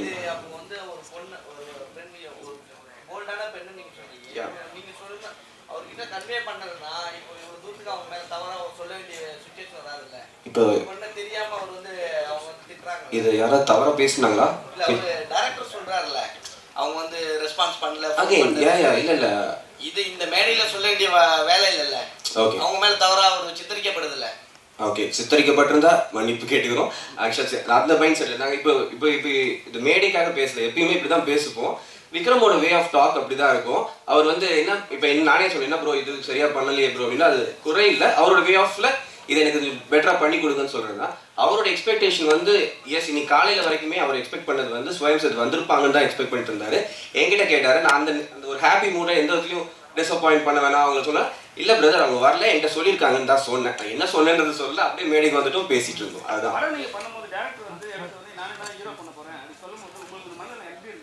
ரொம்ப சந்தோஷமா இருந்துச்சு சார் ஏன் அப்படின்னு கேட்டிங்கன்னா நானும் ஹீரோவை பண்ணணும்னு நினைப்பேன். நீங்களும் ஹீரோவை தான் நான் நினைப்பேன். சி எல்லாருக்குள்ளேயும் ஒரு ஹீரோ இருக்காங்க சார் இப்படி இருக்க ஸ்ட்ரக்சர்ல இருக்கோ தான் ஹீரோ அப்படின்னு ஒரு வரையறை இருந்துச்சுன்னா நமக்கு ரஜினிகாந்த் சார் கிடைச்சிருக்க மாட்டார். ஓகேங்களா அதுக்கு முன்னாடி சிவகுமார் சாரோ இல்லை ஜெய்சங்கர் சார் மாதிரி தான் எல்லாருமே அப்படியே அதே பேட்டர்ல வந்திருப்பாங்க. எனக்கு ஃப்ரெஷ்ஷாக வேணும் அப்படின்னு நினச்சேன். ட்ரூவாக இருக்குன்னு நினச்சேன். என்ன சார் சார் சம்பளம். ஒரு விஷயம் சார் நம்ம வந்து முதல் படிக்கட்டு எடுத்து வைக்கணும் சார் அது படிக்கட்டு வழுக்குமான்னு தெரியாது அதில் பூச்சி இருக்கான்னு தெரியாது கால் எப்படி குத்துமான்னு தெரியாது. அதனால நான் பொறுமையாக தான் சார் வைப்பேன். சம்பளம் கம்மியாக தான் சார் கொடுக்க முடியும். நான் முதல்ல குதிக்கணும்னா நான் ஒரு நாலு படம் வச்சதுக்கப்புறம் வைப்பேன் சார். எனக்கு தெரியும் சார் என்னோட ஹீரோ என் டைரக்டர் அடுத்த படத்துக்கு கால்ஷீட் இருக்கான்னு கேட்பாருன்னு கூட தெரியாது சார். நன்றி சார். ஆமாம் ஆமாம் ஆமா. சார். சார் எல்லா மாதிரியான சப்போர்ட்டும் எதிர்பார்க்குறோம் சார். இல்லை சார் தேட்டர்ஸ்க்கு ஜினேஷ் சார்கிட்ட பேசியிருக்கேன். ஸோ எங்கெங்க தேட்டர்ஸ் இருக்கோ எல்லா தேட்டர்ஸ்லையுமே முடிஞ்ச அளவுக்கு லைக் அகைன் எல்லாரும் வரணும். பெரிய லெவலில் க்ரௌட் வரணுன்றது sir.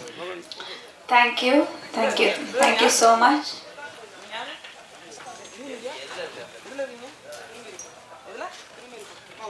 thank you thank you so much அனைவரும் இந்த நிகழ்வுக்கு வந்து uh, உங்களுடைய வாழ்த்துக்களை தெரிவித்ததுக்கு மிக்க நன்றி.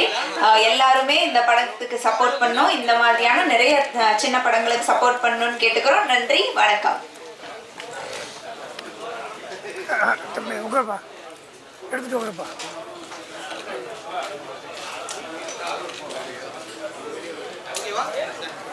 உட்காருப்பா